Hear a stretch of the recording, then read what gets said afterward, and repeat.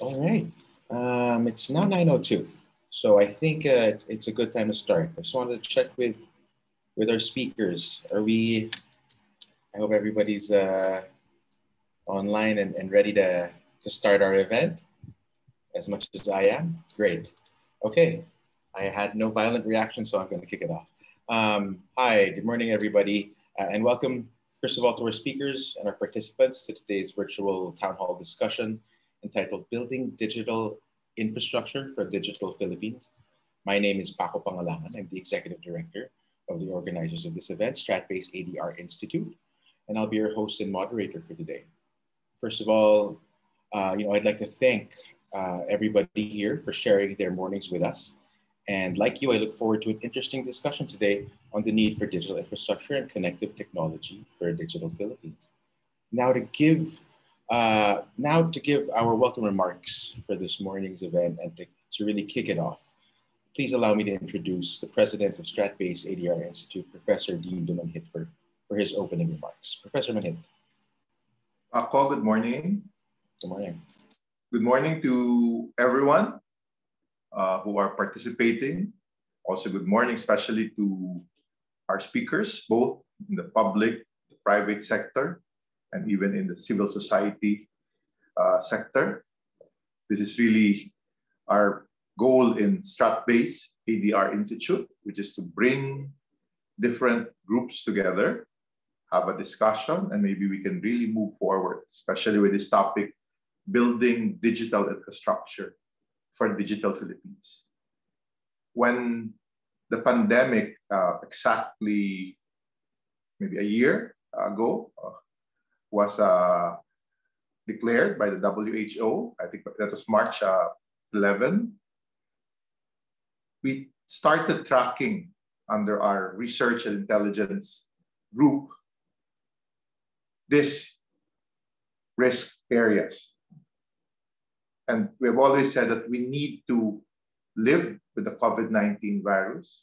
We need to identify this risk and maybe it's an opportunity for society, Philippine society as a whole to, to build and evolve from what is being challenged, the challenges brought by this pandemic. And what I've noticed uh, as we entered the 2021, coming across uh, the study by We Are Social, when you look at different reasons why Filipinos uh, use the internet and seems as how important it is, especially in a situation where we have been for nearly a year.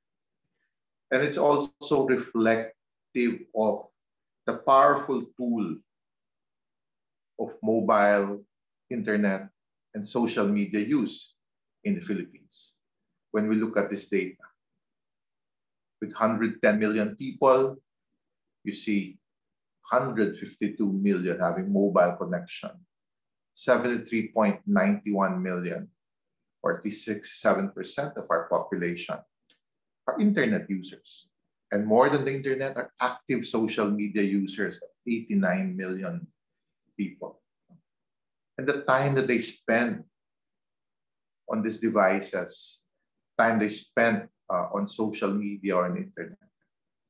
It speaks really of how important the digital, digital technology, and of course with digital technology, digital infrastructure in our daily lives. Then you've seen since last year the rise of e-commerce activity in our country. How I think it's become part of our daily life part of some saying stay safe, staying at home. But we saw the rise of e-commerce. And with this rise of e-commerce, it's also an opportunity not only for platforms, but even for what some would say MSMEs to grow in this type of environment. But the great challenge among all this is the so-called internet connection speed. Where are we? In terms of internet connection speed. But of course, we see some improvements. I came across uh, this Ookla reported study of January 2021 that states that the Philippines continues to improve its overall internet speed.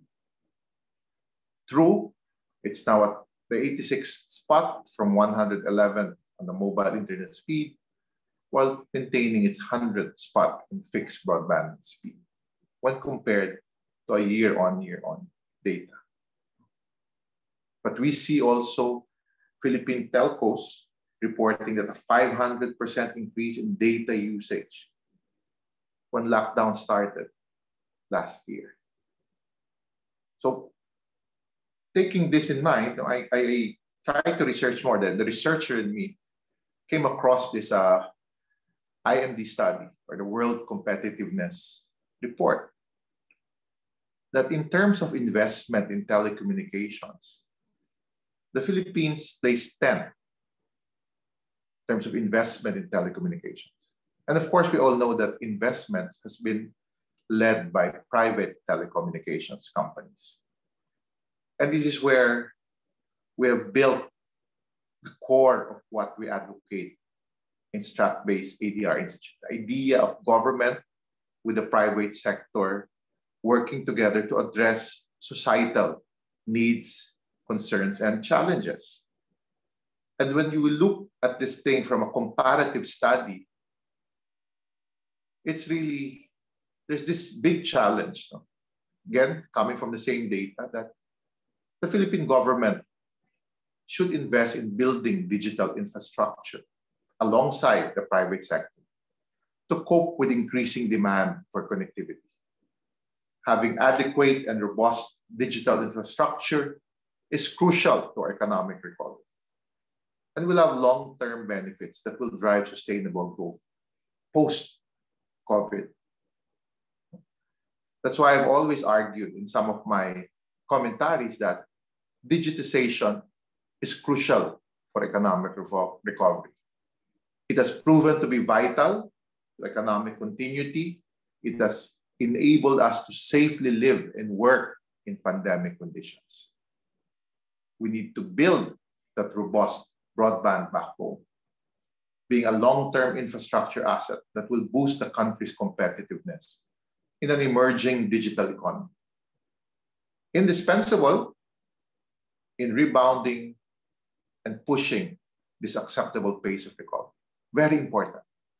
That's why here in our institute, we welcome the Telco Tower Watch idea.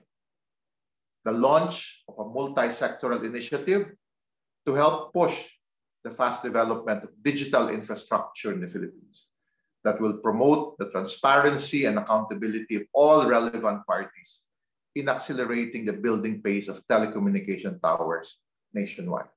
We laud the leadership of Secretary Gregorio Honasan for taking this big step.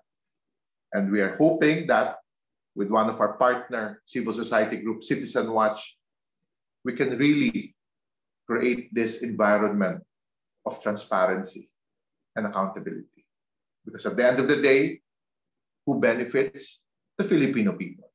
And government, and I believe the private sector, we all exist for the Filipino people that we serve, for the consumers that are our customers in our private companies. Yesterday, I came out with this commentary just on the eve of this uh, uh, webinar or virtual roundtable. And I'd like to quote it just to end my, my remarks. One thing that this pandemic has taught us is the importance of the whole of society approach. I've always argued, taught this for the past 30 years when I was handling governance courses in the university, where, where I always see government, private sector, civil societies. We can address our most pressing challenges. Given the increased importance of connective technology during this pandemic, the continued development of our country's digital infrastructure is one such of the key challenges that requires the combined efforts of multiple sectors of society. Again, welcome and thank you for joining us in this building a digital infrastructure for a digital Philippines virtual roundtable. Thank you. Hi. Yes, thank you, Professor Manhit, for, for laying the foundation for today's discussion. Uh, Thank you, with that, yeah, thank you, sir. Uh, with that, Bo, I, I would like to, right before I introduce our next speaker, uh, I would like, you know, on behalf of the Institute and, and our partners, the Italian Chamber of, of Commerce in the Philippines, to invite the participants to use the Q&A function that you can find here on, on Zoom to, to ask our speakers some questions and we'll get to them later on in the, in the event. With that, I'd like to introduce our, our first speaker today. Uh, our first speaker is Yusek Emmanuel Caintic. He's an Undersecretary for Digital Philippines at the Department of, of ICT. He's a, a senior IT leader with uh, over two decades of experience in application design, software architecture, implementation for various enterprises. As I said, uh, is the Undersecretary for Digital Philippines of the DICT. Uh, and we look forward to hearing some of the initiatives, sir, of the DICT this morning. Uh, so, so please, uh, you say, I think you have the floor. I'd like to share some of my slides. Is that okay? Of course, Bob. Yeah.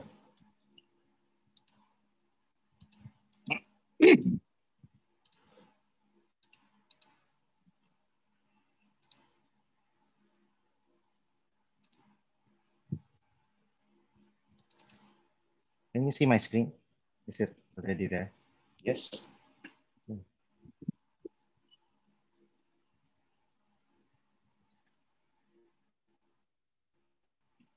Um, to my colleagues from the government um, here in this meeting, uh, to Mr. Paco Pangalangan, to Professor Dindo Manhit, uh, to our friends in the telecommunications industry, uh, Mr. Vince Tempoco, Vice President of Site Acquisition from Globe, to Attorney Roy Ibay, Vice President of Regulatory Affairs of Smart Communications, uh, uh, of course, uh, Mr. Orly Oxales, who invited me here, to our fellows in the industry, good morning.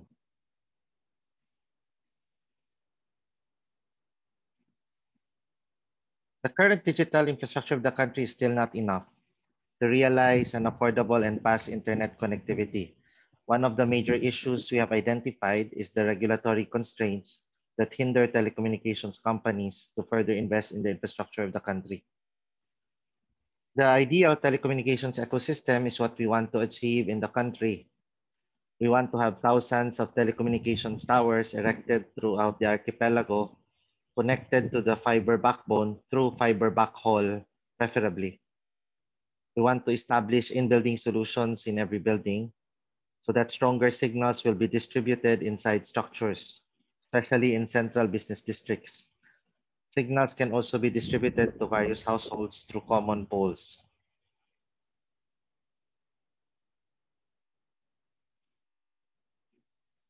However, we still have a ways to go to achieve this eco ideal ecosystem. The existing towers and fibers built are not yet enough reach the model tower to subscription ratio, which is about one tower to about 100 or 200 households. We've yet to utilize existing poles or micro towers to provide wider coverage extensively especially in central business districts, where constructing towers is exceedingly difficult due to limited space, and oftentimes exorbitant fees for leasing these areas. The government's approach is two-pronged. First, I will discuss the progressive regulations and policies, and uh, I will just briefly breeze through the catalytic programs and projects uh, that we are doing. the progressive regulations and policies, as you know, is focused on easing regulatory burdens, both from a cost, time, and the, the sheer number of permits needed. And our, and our programs is not meant to compete. It is there to ignite and spur growth and expand to places where there is little to no digital infrastructure build out, as uh, Dindo uh, pointed out earlier.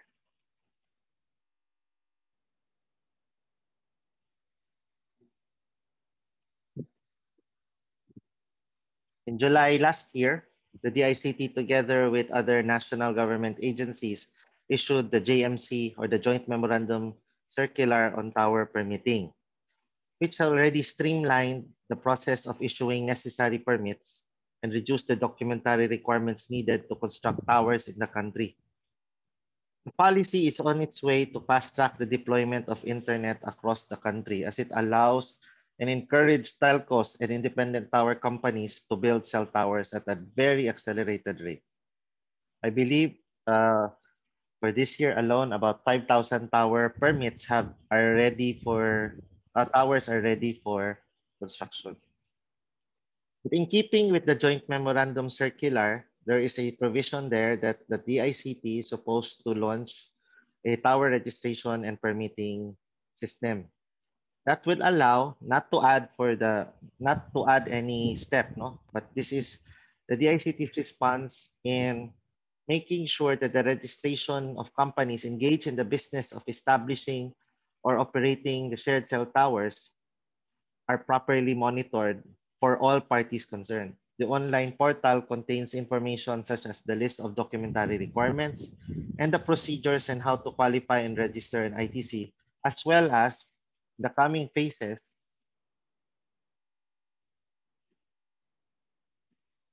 the system shall present dashboards that showcase the, task, the status of each registration and application submitted.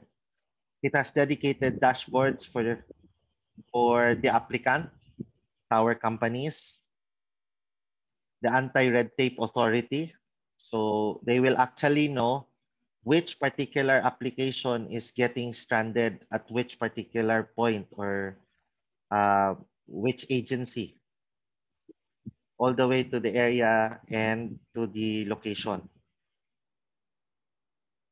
The DICT, of course, which will also help uh, uh, push the permits forward, and the LGUs. The LGUs will have very clear visibility of where each and every specific application is. We don't have to be very particular to the specific location, no? because uh, I think those are, uh, we understand the proprietyness of those, uh, of those information for each telco. As well as the other national government agencies, the PWH, uh, FDA, CAAP, and the ones involved. Through these, the users will see in real time the status of each application and the number of days it takes or it has taken for a certain permit to be issued. The government understands the plight of the private companies that the private companies face in this journey of helping build the country's digital infrastructure. Thus, we strive to continue to evaluate and improve our processes for the benefit of the Filipino public. Uh, last February 22, we are delighted to share that in the in that cabinet meeting, the president has approved the DICT's proposals to institute additional regulatory frameworks aimed at a quicker rollout of key digital infrastructures. So in the cabinet meeting where all the secretaries are there, we were able to garner the support of the president and he, he ordered that the following agencies uh, immediately uh, work on the following directives. There is a cabinet directive, uh, cabinet directive already for this. Um, under the leadership of our Secretary, Gregorio Honasan II, the DICT is working on these milestone policies to lay down the foundations of digital connectivity and access programs. Most important of which is the common pole policy, or in the, uh, the attendant joint memorandum circular on fiber, poles, as well as in-building solutions. So that's on the top of the list. Um, we are also pursuing a spectrum management policy to liberalize the use, allocation, and refarming of the, of the spectrum. This will allow a level playing field for all players. Once Additionally, we are exploring regulations that necessitate the use of in-building solutions, which are small antennas placed on the ceilings. I think the telcos, the telco people know here what those are about. But the, the, key, per, the key landmark uh, the key milestone we achieved in that cabinet meeting is that uh, it is ordered that the DHSUD and the DILG will soon issue the regulatory framework for necessitating in-building solutions as a, a necessary a step towards attaining occupancy permit. Just like water, power, and sewerage, uh, the building occupants would have the service and it is already considered a basic utility. Through these regulatory frameworks the department is spearheading, we are not easing the burden of for telcos to perform their duties. We are not only easing their burdens, we are also liberalizing the market, therefore allowing smaller players in this industry to enter and participate. The next part, of course, is on the right, the catalytic programs and projects. Many of you have already heard of this several times in our in our other forums, but for the benefit of everyone, the three main programs that the government itself is to, are doing are the national broadband, the free Wi-Fi, and the national government data center. We call them catalytic programs because our objective is to accelerate the growth of fiber and power build out in places where uh, otherwise it would not be commercially viable for our private uh, enterprises to build out. So then the, the government's response in making the national broadband program is lighting up the NGCP fiber backbone that we have. But we're also exploring new ways of doing this by leasing uh, existing dark fibers or excess capacities from the telecommunic uh, the telco industries in this in the whole archipelago. We have also partnered uh, with the LGUs to help us expand their middle and last mile. So we are engaging the LGUs to accelerate the fiber build out in their own provinces and cities with partnerships with their own respective local players for this. We have already inked several MOUs with the provinces from Bataan, Baguio, Tarlac, Zambales, even as far as Negros Occidental. And most recently, we have inked uh, MOUs with Agusan. And soon, uh, it will be Davao and, and Cagayan de Oro. The purpose of this is that for the provincial broadband networks to already be ready while we're building the national fiber backbone. As I said earlier, we're involving local telcos also to utilize their dark fibers for resiliency of the NBP. To provide context, the Free Wi-Fi for All program is, to, is geared towards putting last mile connectivity to areas where otherwise it will not be feasible uh, to lay down the fiber. So if you will notice, many of which is actually uh, VSAT oriented. But there are also fiber-based uh, free Wi-Fi installations we have done, especially last year as we uh, internet connectivity to the rural health units, uh, as well as state universities and colleges. This year, the focus will be to light up also 5,000 vaccination centers. And lastly, our efforts of the National Government Data Center is geared towards reducing latency, at least for the government uh, hosted uh, e-services. Uh, course, we seek your invaluable support. Invest your time, expertise, and resources to strengthen our digital infrastructure for the country. Together, we could help build bigger, better, and quicker internet for the Filipino people. For Digital Philippines in the new normal, thank you and stay safe, everyone. Uh, thank you. Thank you po, uh, Yusek Caintic, Yusek Caintic. Uh,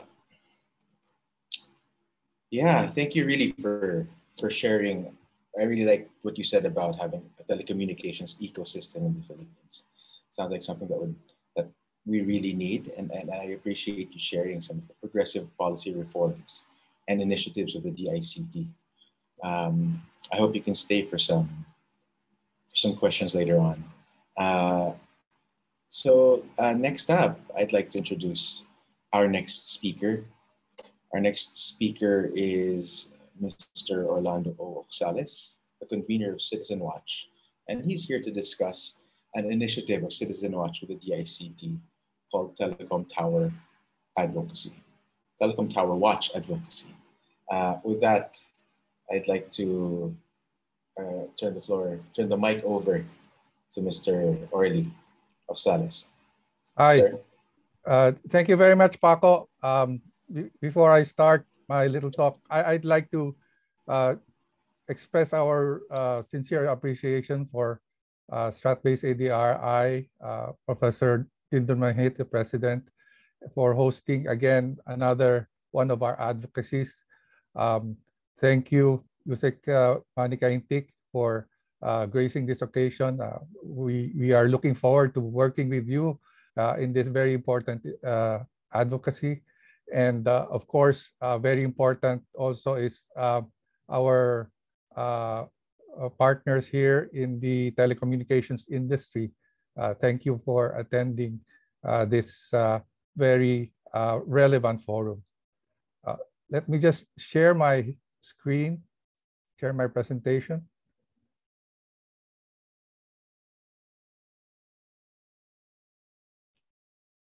Uh, is it visible now? Yes. Yeah, okay. Um, this morning, I'm going to talk a little bit about uh, Telecom Tower Watch. Telecom Tower Watch is a monitoring and consultation initiative of the DICT in partnership with Citizen Watch Philippines that aims to support the accelerated building of digital infrastructure projects. This advocacy will establish a regular venue for close monitoring and troubleshooting of unnecessary delays in the building of all telecommunications towers and related projects. The project will have an online awareness campaign that will provide current information on the status of ongoing telecommunications infrastructure projects. It will also have a series of consultative meetings that would gather government, private sector, and other stakeholders to tackle issues, find solutions, and align strategies towards the fast expansion and upgrading of the country's digital infrastructure. Hopefully, this ven venue will actually expand further with the participation of the whole Philippine digital, digital ecosystem. While the COVID-19 pandemic persists as a long emergency that stifles economic growth, it has also exposed the Philippines' competence in the rapid digital transformation that society has been hurled into. The fundamental solution is a whole of society approach that is characterized with government supportive policies and massive public-private investments towards the development of telecommunication services. As socioeconomic systems evolve in the new normal, the adoption of digital tools, cloud-based technology, and other online transactions have been brought to the fore. All these will need fast, reliable, and affordable internet connectivity from mobile and fixed line broadband networks. Economic recovery will be slow and protracted without digital infrastructure supporting this foundation. In a hyperlinked society connected via the internet, all sectors of society depend on it for continued business operations, education, transportation, health-related concerns, information dissemination, and delivery of public services. Dependable internet services will allow fast digitization of government bureaucracies and private industries to become competitive in the context of complying to the minimum safety protocols to safely live and work in pandemic conditions. The outputs we see here is first is to gather and organize data of all telecom tower and priority digital infrastructure projects, operationalize an online reporting and posting mechanism on the status of digital infrastructure projects, flag permitting guideline violations and permitting delays, flag project delays to DICT and concerned parties for appropriate action, and regular media briefings on new developments. As we continue to face the pandemic, the accelerated digital transformation of society needs increased and sustained support from the public and private sectors.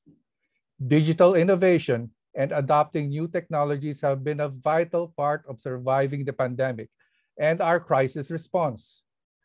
Moving forward, these same tools can revive and future-proof our economy, create jobs for the unemployed, and ensure business continuity. Cloud-based technologies have enabled us with safe and efficient connectivity to engage in all essential activities to survive, thrive, and most certainly indispensable in our recovery towards pre-pandemic prosperity. If the government's vision is to deliver digital services to all, government must invest in our digital infrastructure likewise. We must have the digital infrastructure to deliver the broadband speeds to run all the cloud-based services we need. Just as we can't afford delaying deployment of safe and effective vaccines, we can't afford the handicap of a lagging telecommunications infrastructure. After decades of hesita hesitation and bureaucratic resistance to the disruptive solutions of information and communications technology, we all know that this is the only way to go. Indeed, the acceleration of the country's digital transformation should be the priority in the government's recovery strategies. Government investments in strategic telecom telecommunications infrastructure will promote an economic revival that will unleash the country's digital potential to become a key player in a digitized global economy. Digital technologies have become an indispensable extension of our physical and mental being. The warnings of inherent risks may be valid, but very manageable. And experiencing the advantages accessibility, and great utility of digitalization is the big lesson of this crisis that will continue to shape the new normal. Aggressive investments already being done by the private telecommunications companies to expand and improve internet service will accelerate rapidly if the government steps in to build a nationwide broadband backbone that will integrate with tower and fiber networks of private telcos. Investing heavily in telecommunications networks is a proven strategy working well for our ASEAN neighbors that if delayed, or much worse, neglected, will leave us less competitive and may worsen the already deep economic slump. We can only emerge from the COVID crisis as a competitive economy if we can keep up with an increasingly, increasingly digitally driven global economy. We cannot and should not be left behind in the new digital world. Citizen Watch Philippines stands with Filipino consumers in supporting the call for the government to work with the private sector for economic progress. We call for increased public and private partnerships which will foster a future-proofed Philippines with a full adoption of digital solutions and technologies. Let us continue to build meaningful intersectoral cooperation and build towards a digitally robust Philippines for the benefit of all Filipino citizens. We believe that the interconnectedness of society in the post-pandemic era is through digital connection the best way to move forward from this pandemic is to strengthen our capacity, capacities through digital transformation. Let us forge a future fortified with digital infrastructures. Thank you very much, Paco. Thank you for this opportunity. Yeah, thank you, Mr. Oxales. Thank you already for for telling us all about your Citizen Watch's initiative, the ICT's initiative, it's Citizen Watch rather, called Telecom Tower Watch, it, it seems very promising. And I, I look forward to how that uh, unfolds. At the same time, you know, as a consumer group, it's also valuable for us and our participants to hear, you know, how, what kind of economic impact uh, tech, you know, telecommunications and technology has on, on, on consumers and Filipinos in general. Um, so yes, uh, with that, we now want to hear some of the perspectives from the telecommunications industry. Now, uh, as you've seen from our, our poster, we have, we have three speakers here from, from the industry. We were hoping, but as you know also that we have actually more than, than two telcos now in the Philippines. Uh, and we were hoping to get them here as well. But uh, perhaps we can just save them as speakers for, for our follow-up event. Um, but anyway, uh, first up, to share his perspectives from the telecommunications industry is Mr. Vince Tempoco. Mr. Vince Tempoco is the Vice President for Site Acquisition and Management at Globe Telecom. Vince, good morning. Good morning, Paco. Thank you for the introduction. Um, good morning to everyone, all the speakers and uh, the audience. Um, and thank you also, Paco and Dindo, for having me today. Okay, so let me share my presentation.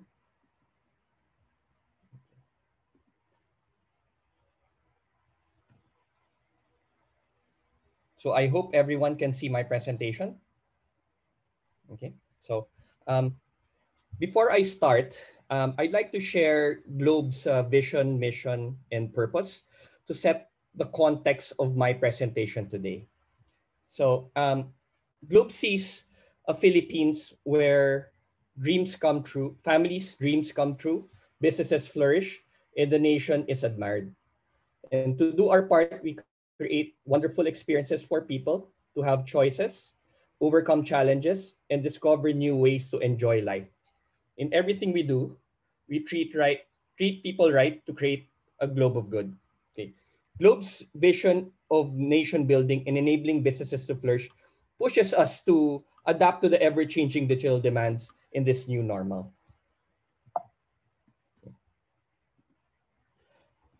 Despite the effects of um, the pandemic, Globe maintained its commitment to its customers to provide connectivity and new experiences even at home.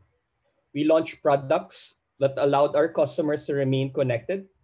Partnerships were also forged to ensure we continue to provide great service to every home especially that members of the family are either working from home or busy with online classes. An example of this partnership is our partnership with MMDA. Okay. Uh, traditionally, um, we have the Metro Manila Film Festival uh, held every December, and Filipinos would flock to the cinemas to watch um, the movies participating in the MMFF. Because of the pandemic, we are unable to do so. And Globe and MMDA partnered together to be able for people to be able to stream these movies uh, from their homes. Apart from providing connectivity, Globe has been one with the frontliners and has been active with its CSR activities. We have donated COVID test kits, PPEs, face masks, and other essential supplies to help them battle this pan pandemic. Overall, Globe has provided over 1.3 billion worth in combined services and assistance package for COVID-19. The need for, for us to be digital has never been more important than during this time as many Filipinos remain at home and rely on digital technologies to cope with the challenges and continue managing their daily lives. This has accelerated the move to digital at a speed that would not have been achieved under normal circumstances. With the customer safety and public in general as its utmost priority, Globe has developed digital services that minimize their exposure to the deadly respiratory disease. These include digital channels such as Globe One, Globe at Home app, and GCash. An example, Globe One app as you can see in the slide, okay, allows Globe Postpaid, Globe My Business, prepaid, and even TM customers to monitor their accounts, track their usage, pay their bills, and even redeem their Globe rewards. To add, prepaid customers can also purchase load and register to promos using this application. So by using these apps, subscribers can do all their Globe transactions without leaving their homes. Globe promotes online education and online health consultations as well. We are working with the Department of Education and even with LGUs to boost distance learning as a method of education adapts to the new normal and when physical face-to-face learning is not yet possible. I believe we have already a partnership with uh, Manila and Quezon City in providing um, the students in these cities no, with uh, connectivity, with their connectivity requirements. Globe is also with the Department of Health in encouraging telemedicine health consultation with, it, with our KonsultaMD service. Through this service, a customer can call KonsultaMD and talk to its doctors regarding their health concerns. Aside from being practical, KonsultaMD also protects a customer from unnecessary exposure to COVID-19. We also encourage fintech use and promote digital transactions through our GCash service. With quarantine restrictions imposed and physical distancing a must, Globe enabled its customers and the general public with the capability to conduct online business and convenient, safe, real-time cashless transactions through GCash. In 2020, GCash became the number one finance app and currently has 33 million registered users, including a 3.7 times increase in active users.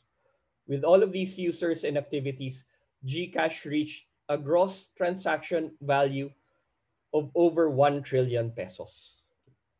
GCash provides businesses and individuals with features and benefits such as one, the pay on you go pay on the go feature, which is used for cashless disbursements of salaries, incentives, allowances, not only for employees, but for vendors and partners. Uh, number two, scan to pay for QR code, contactless payments in stores, and upload QR codes in app. Okay. Third, it also provides fast, reliable domestic remittance via its send money feature. With GCash, merchants, retailers, government, and netizens enjoy the advantages and benefit of a digital and cashless society. Digital transformation cannot happen without reliable connectivity. Globe has been aggressively uh, investing in and expanding its network to provide better internet connections. Cell sites indeed are needed to enhance signal penetration and to improve the internet speeds for a better digital experience. In this slide is a graph from Yugatech, which was published recently. It shows that the Philippines suffers from low site density compared to our neighboring countries such as Vietnam and Thailand. This is due to the lack of cell sites in relation to the number of internet users we are behind the likes of Vietnam and Thailand when it comes to cell sites to internet users ratio. And uh, to add, Vietnam and Thailand also are ahead and enjoy you know, government invents, investments in telecom infrastructure. The network cannot expand its capacity without building more towers or cell sites. This is the key to improve the internet speeds in the country. In spite of the almost three month enhanced community quarantine in 2020, Globe achieved record breaking network rollout numbers. And this wouldn't have been possible without the help of the government, with the release of the joint memorandum circular on tower permitting and the signing of the Bayanihan 2 law, and of course, the support of the DILG and ARTA, um, the permitting process was simplified. As you can see, we were able to get 1,900 permits from July to November 2020. And this is six, more than six, almost six times no? more than what we got in the same time frame in the previous year. This allowed us to build 1,300 cell site towers in 2020. This is 18% higher than what we built in 2019. No? Again, this is in spite of the almost three month ECQ period that we experienced last year. And we were also able to upgrade 11,500 4G LTE sites. And uh, this uh, provides additional capacity to all our cell sites that were upgraded. And we encourage people who are still on 3G to upgrade their SIMs and phones to 4G so that they can experience better internet speeds. We also have over 1,000 sites now with 5G, which brought about 80% uh, of NCR now covered by 5G or with 5G. Fiber rollout also increased 275%, allowing us to reach more homes in 2020. Globe continues to lead the charge in building sites with 2,400 new cell site towers built in the past two years. And now we have a total of 10,600 sites nationwide. Internet speeds have also improved. There were significant increases in both the Globe fixed broadband and mobile data speeds, as seen here in the graph coming from Ookla, okay, a global Speedtest index. No? This is while supporting an increase, no? A, an increase of 226% in at-home broadband subscribers in a data traffic of 352 petabytes in 2020 from just 77 petabytes in 2019. There was also a 50% year-on-year increase from 2020 to 20 from 2019 in mobile data traffic. Globe's average video and app calling experience have also beaten the global average improvement with 16% and 2.5% improvements respectively. While we continue to invest billions of pesos in the network, Globe has also made internet service more affordable with pricing that is competitive versus our neighboring countries. So as you can see here in, in the graphs, no, Globe prepaid broadband internet has gone down uh, to 9 pesos per GB, whilst our mobile prepaid promos are now at 11 pesos and 25 centavos, centavos per GB, which is very competitive versus our, versus our neighbors such as Indonesia, Singapore, and Thailand. Globe has lofty targets for 2021 as we aim to build 1 million fiber lines, 2,000 sites, uh, of course, with the help of the towercos, and expand our 5G uh, coverage even further. Okay. And this is with a total investment of 70 billion pesos, which is close to 50% of our revenues. Towercos have come in the Philippines and towercos will supplement the investments and build of the tower telcos, which will allow us to further accelerate our cell site build. Globe currently has engaged over 10 towercos, and we have already sites using shared infrastructure, as seen in um, the lower left uh, PR attached to this slide.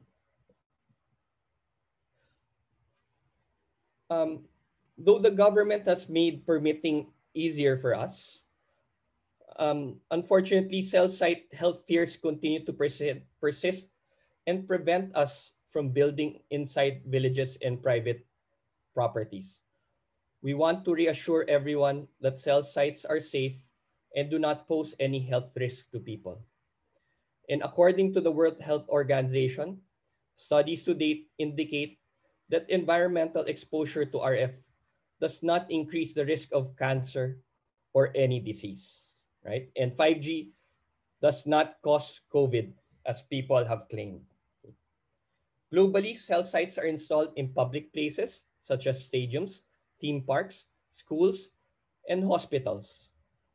In the Philippines, hospitals such as FEU NRMF and St. Luke's Global have allowed Globe to put up cell sites in their buildings to provide connectivity to their doctors and staff.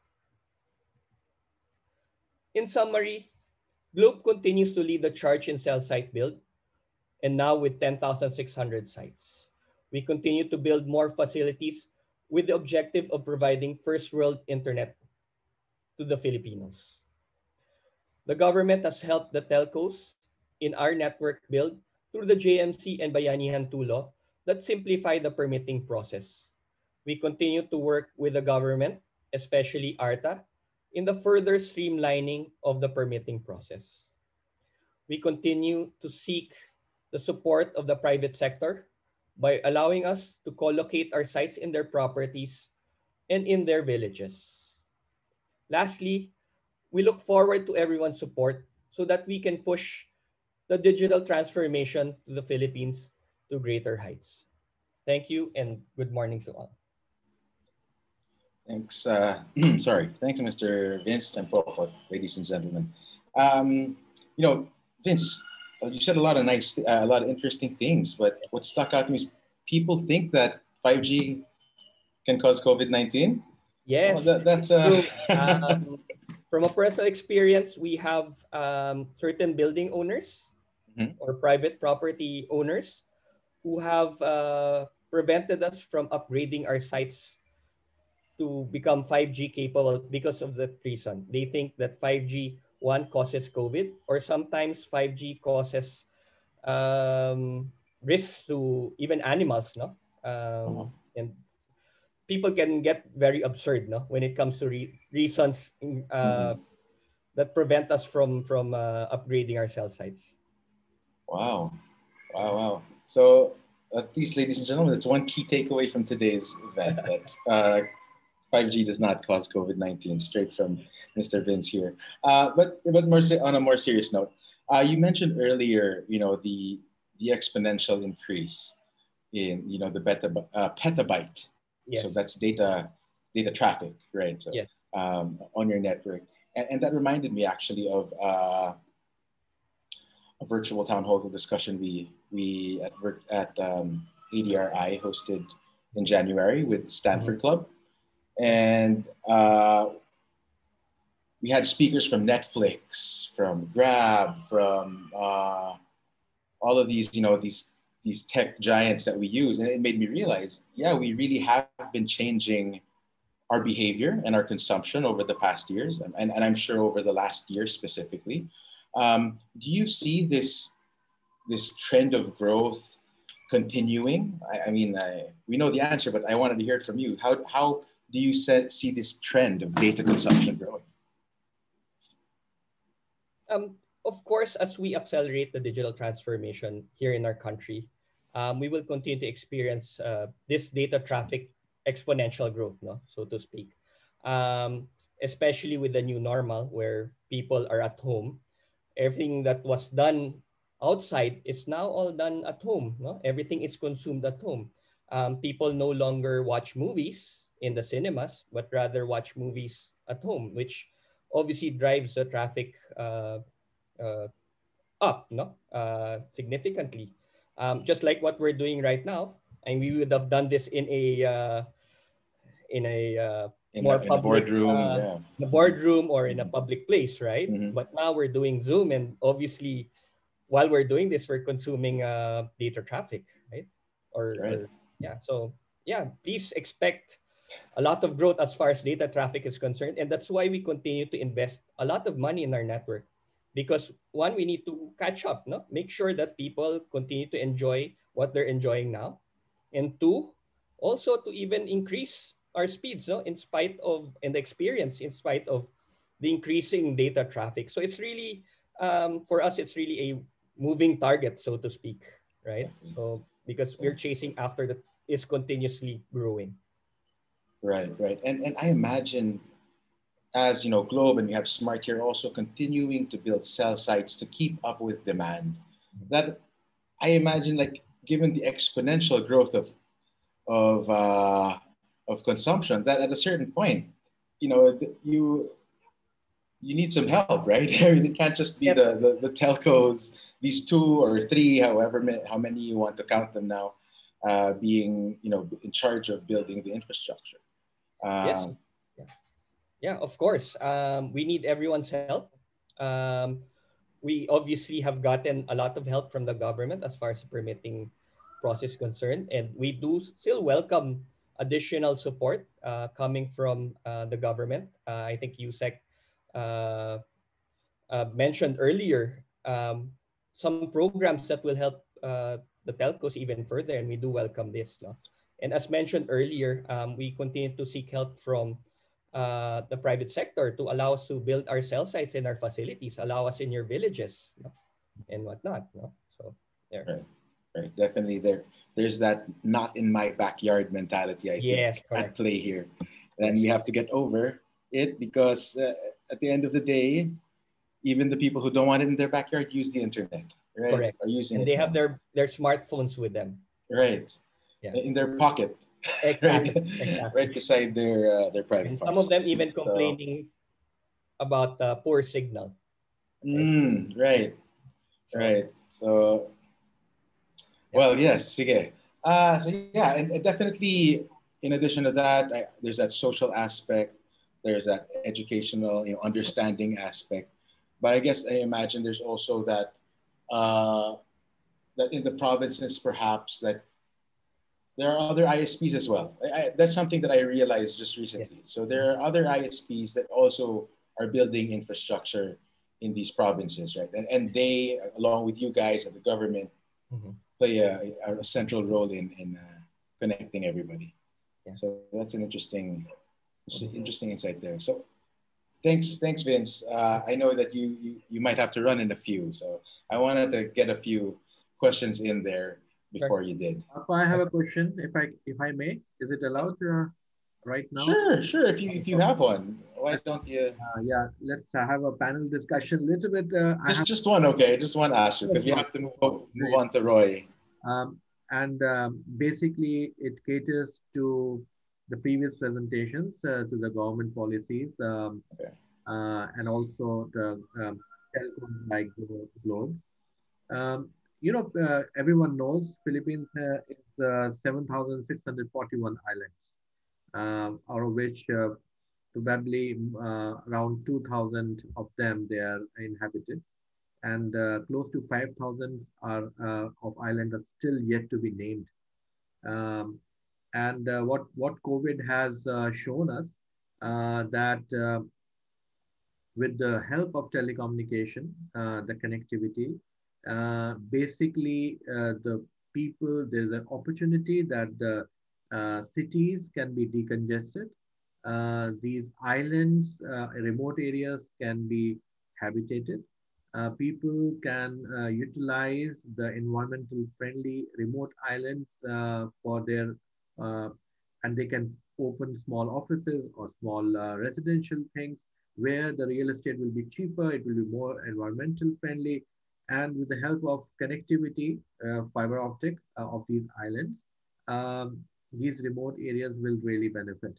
And with the help of artificial intelligence and uh, uh, all these technologies together, whether uh, a full virtual city can be established without really opening the uh, tangible infrastructure uh, in that place. So uh, my, my only question from Globe and any telco and also the government is, are there any initiatives in plan where um, um, there is a public partnership, uh, public and private partnership to habitate these remote areas which are not maybe uh, economical lucrative at this moment of time of course, everyone wants to have 5G in Manila and put all the money there, but remote areas uh, should also get some uh, benefits out of this COVID opportunity. Yeah, thanks. Thanks for the question, Asher. Maybe we could give Vince uh, the Florida, maybe if he wants to answer that, and then let's take that. We'll take note of the question and then ask it later on in the in the open forum for the rest of the speakers. So, Vince, did, did you want to say anything? To, um, we do recognize that, uh, well, one of the challenges in the Philippines as far as network rollout is concerned is it the Philippines is an archipelago. It has 7,000 islands, okay? And it's quite challenging to bring in um, capacity to these uh, areas. Okay, bringing in cell sites and fiber optic can be uh, quite expensive. Especially, we'll have to do submarine cables and whatnot. No? And uh, probably this is one of the areas where we can seek help from the government. Okay, to help us uh, roll out to these areas and uh, help us uh, together with other telcos, no, share infrastructures um, that could uh, help bring in um, connectivity to these far-flung areas. And we'd be more than willing uh, to bring in our, our service to these areas uh, if we're able to, you know, uh, government's able to help defray some of the costs, right? And uh, another thing that we're also doing, as mentioned earlier, is uh, we have top towercos or tower companies, okay? And as you know, these towers will be shared across multiple telcos and hopefully this will also help uh, bring down the cost of uh, bringing in uh, our service to these far-flung areas. Great. Yeah, thanks, Vince. Yeah. Thanks so much. Uh, I wish you could stay a bit more, but uh, I can I can say I can say. Yeah. Oh, that's yeah, that's that's good. That's good. All right. So uh, next up, we'll uh, we'll move to our next speaker. Our next speaker is Mr. Roy Ibay. Vice President for Legal and Regulatory Affairs at Smart Communications. Attorney Ibay, uh, we're interested to hear from you as well, from Smart. Hi, magandang umaga. Good morning, morning uh, uh, Professor Dindo Manhit. Of course, Yusek uh, Manny Caintic. Uh, we congratulate uh, DICT and uh, Stratbase no, for leading this initiative. And uh, course, uh, thank you also, Paco, Orly, uh, to my colleague uh, from the industry, Vince, uh, and also Ashutosh Bhargava. I hope I uh, got that correctly.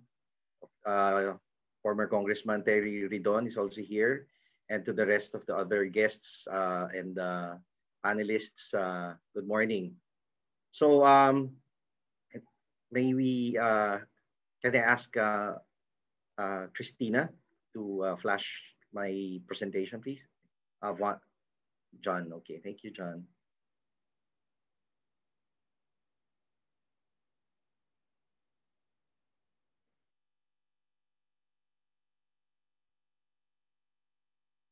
So first, next slide, please. So, okay. So uh, why are we all doing this? Of course, more than contributing to the betterment of the economy, I think uh, Mr. Murdoch uh, has put it uh, plainly that the advances in the technology of the telecommunications have proved an unambiguous threat to totalitarian regimes everywhere. So it's basically, uh, it has ensured our basic freedoms. No? So many times in history and even now, I think the best example is what's happening in Myanmar. No? Uh, good thing there's still uh, some telecommunication firms that are operating there and uh, a lot of what's happening in Myanmar, we're still uh, uh, discovering and we're still getting updated no, through the power of um, telecoms. So next slide, please. So um, let me give you an update as to where the PLDT group is at now with regards to our wireless and fixed infrastructure. Because, that was specifically asked of me uh, when I asked Orly, what am I supposed to talk about today? so, well, on, on the physical sites, as you, as you may see, um, uh, we have on the wireless side, as of uh, end of January, 10,150 sites.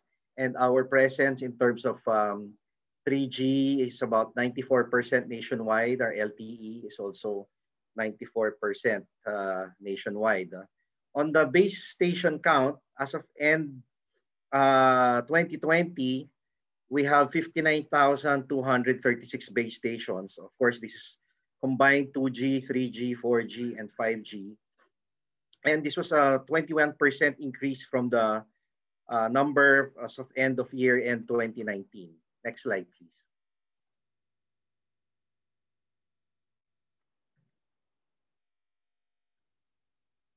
So on the fiber footprint, uh, as of end 2020, there was a 133% increase. Uh, we now have uh, as end of um, 2020, 429,270 kilometers of fiber, uh, which is uh, a big increase, no? About 133% from the year-end figure of 322,356 kilometers.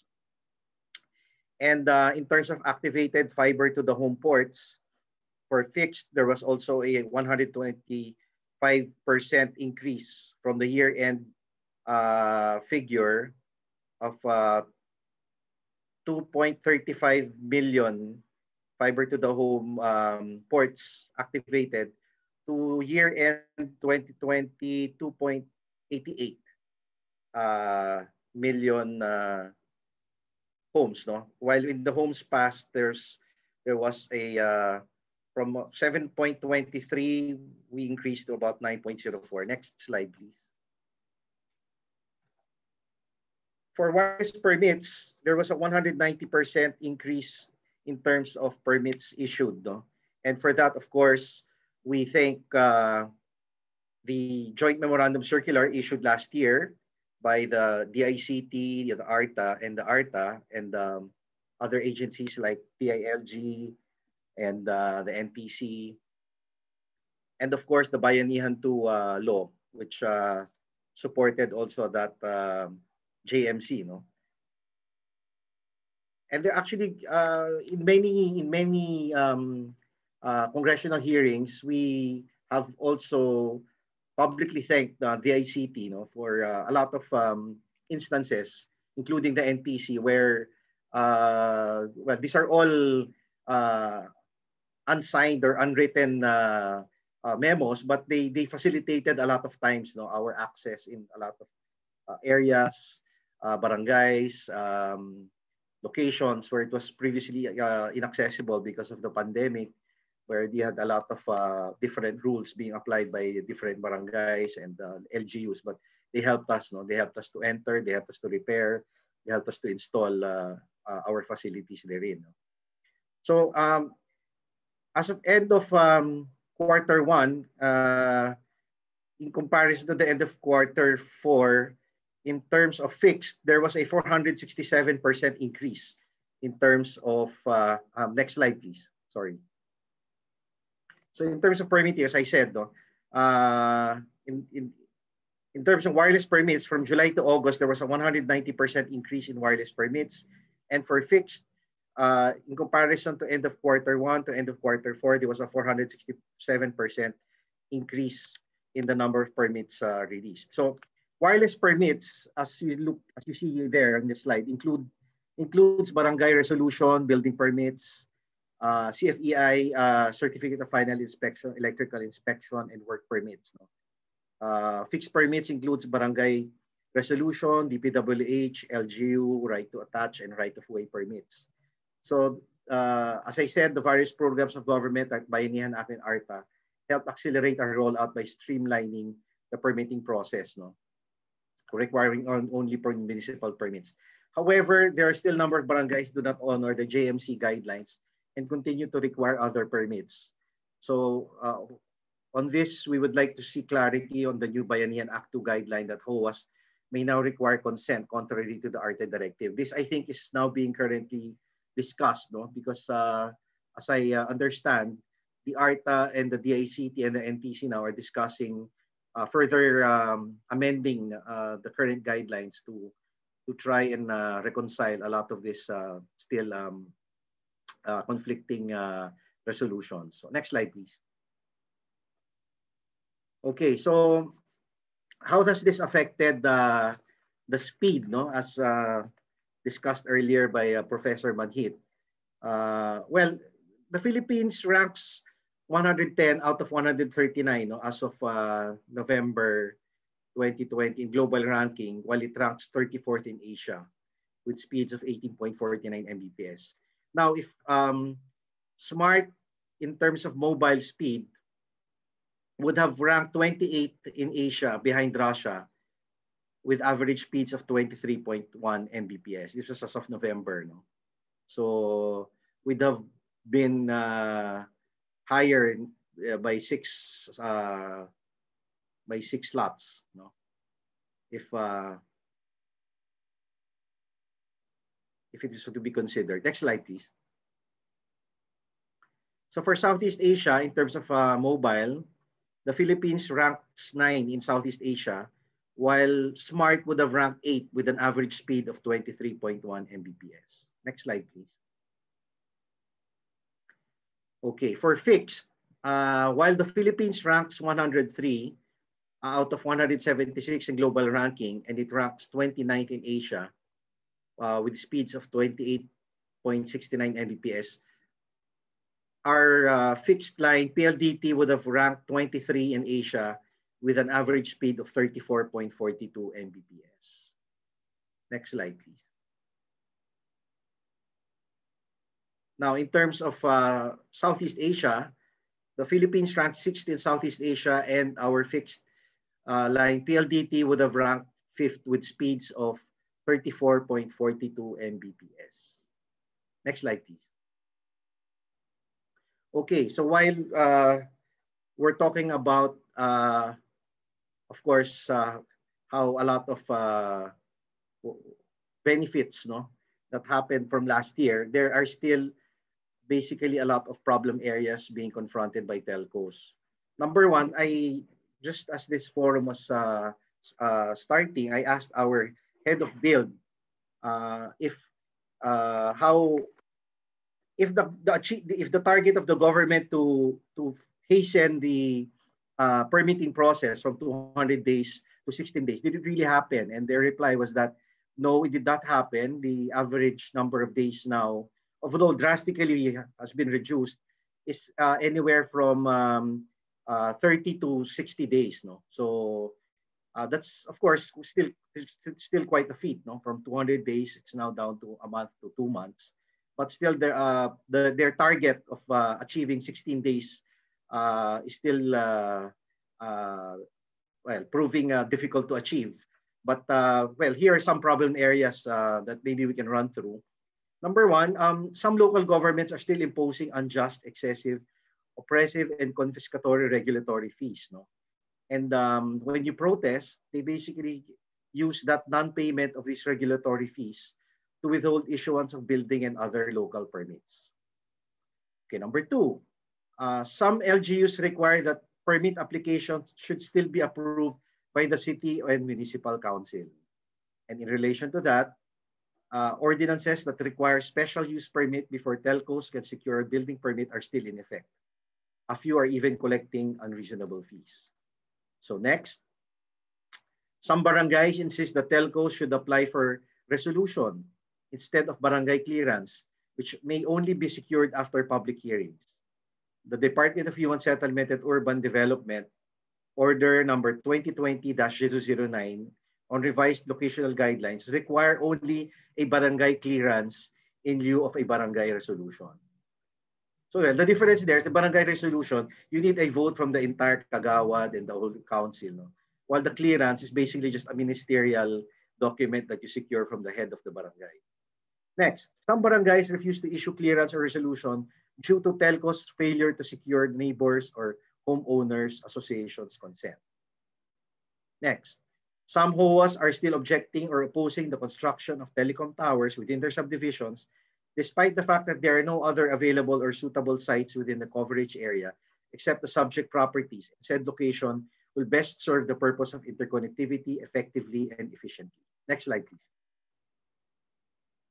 Now, homeowner associations are also collecting excessive fees. No, uh, they have business clearance fees and other HOAs, would you believe, even have profit sharing agreements that they try to impose upon telcos, some of which are recurring. These fees, if not paid, would deny us access to installation, repair, and maintenance works within the subdivision and village premises. We're also seeking the revision of DPWH Department Orders number 73 and 26.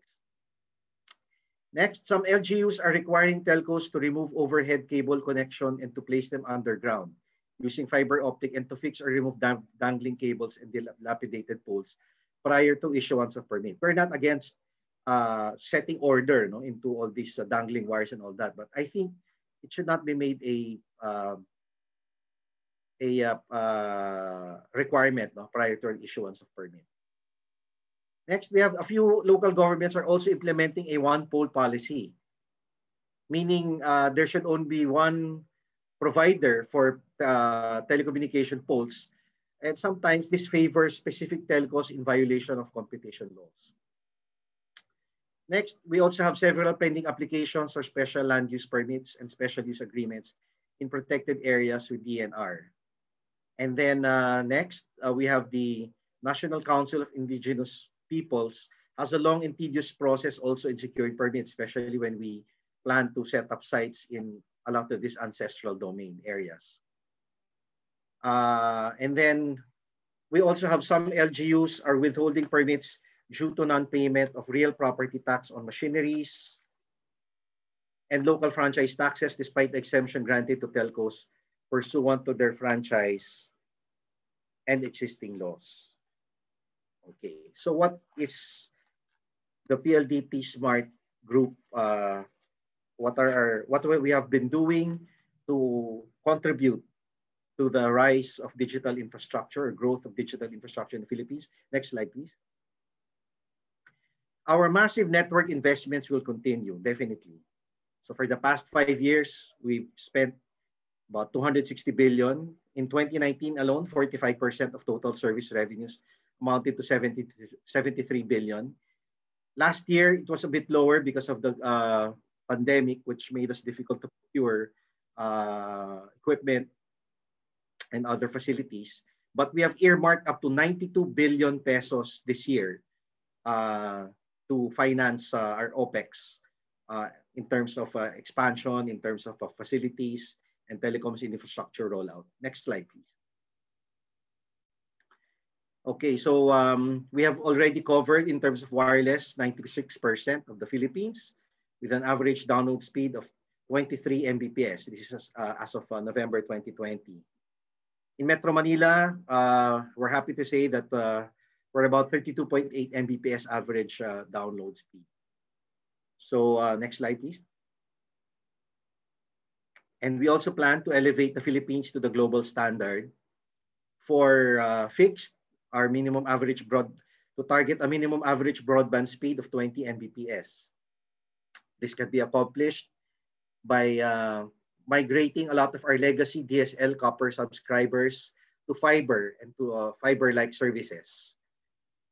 And for mobile, uh, we're targeting also a, uh, a minimum average speed of 30 Mbps in Metro Manila and key cities, no?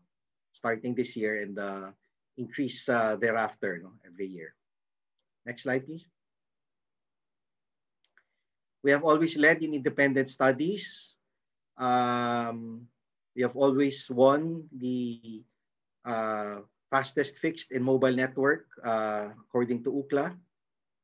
And even the uh, German uh, benchmarking provider has awarded uh, Smart the Best in Test Award, Best Rated Broadband Coverage, Download and Latency Experience, and also the Open Signal also has given us uh, a video experience score 42.2, better than the competition and national average. So, well, aside from this, uh, the PLDT Smart has uh, been rolling out a lot of um, very good products that has made uh, internet affordable, uh, the best value to our consumers, and uh, we will continue to to do so. Let me share just in closing. Um, the GSMA and also the ITU has actually shown that um, the um, the telecommunications economy, well, particularly the mobile economy, has already generated about 4.4%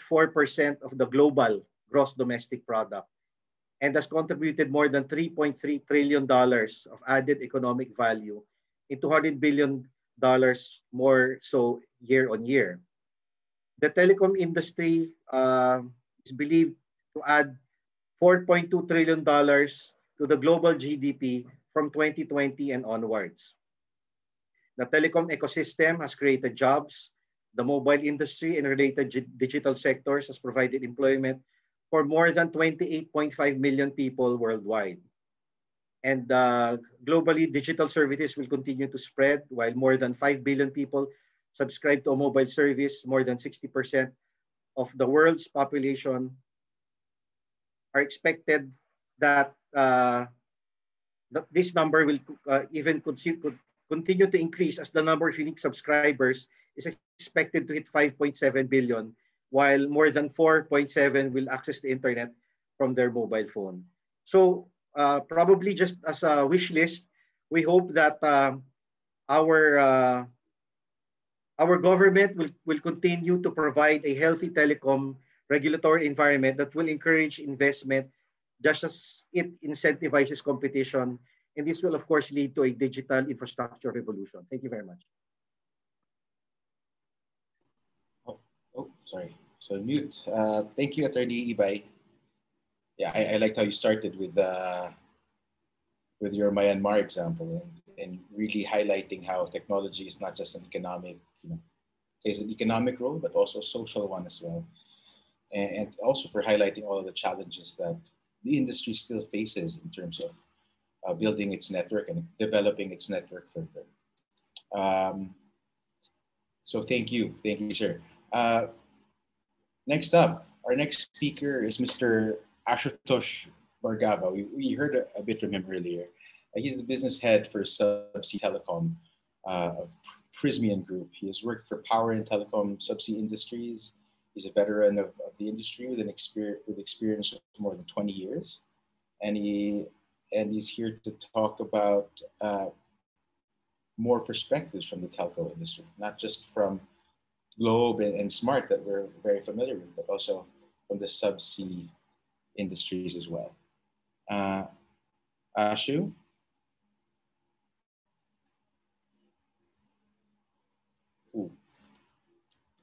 Let's see. I'm sharing my presentation. Can you hear me? I can hear you and I can see your presentation. Perfect. Um, thank you very much. Uh, I really, um, um, I'm very happy to be on this panel and honored to among um, uh, the regulatories and the industry people. Uh, good morning to everyone. Uh, my name is Ashu Bhargav. Uh, I belong to a company called Prysmian Group, um, NSW. Um, Prysmian Group is the world's largest manufacturer of submarine cables and uh, the cables, uh, power and fiber optic. And it has a subsidiary called NSW, which is uh, manufacturing submarine cables since 1899.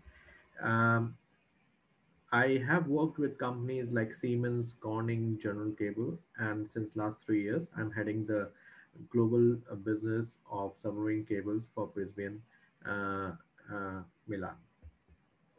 I'm based out of Singapore.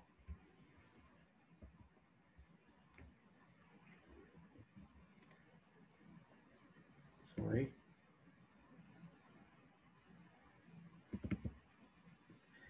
Great. Um, just a small uh, history, uh, Prysmian Group is now uh, uh, consists of three big companies, Prysmian of Italy, Draka, and General Cable, of which NSW, the submarine cable provider, is part.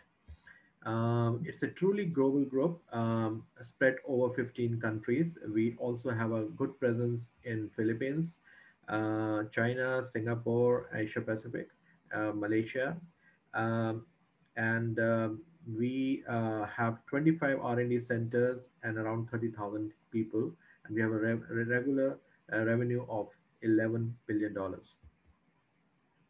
The reason I'm on this panel is basically we want to uh, uh emphasize the need of the backbone. Uh, the backbone is critical to have any infrastructure and any uh, futuristic activities like mobile, 5G, etc. So NSW, uh, which is manufacturing submarine cables, uh, was founded in 1899 and since then uh, manufacturing submarine cable and has been in Philippines since early 90s. And I will talk about that. I think one of the disadvantage of me speaking last is that all the good things have already been said about the need of data traffic, but so I will have an opportunity to skip it through. Uh, but very quickly, uh, the global internet traffic is growing 50% an year uh, on unofficial basis. And from 2009, it has grown from 24% of the world population to now 60, 65% um, in 2020. And COVID, um, uh, COVID uh, pandemic increased the users by 15% more than that would have done naturally uh, exponentially.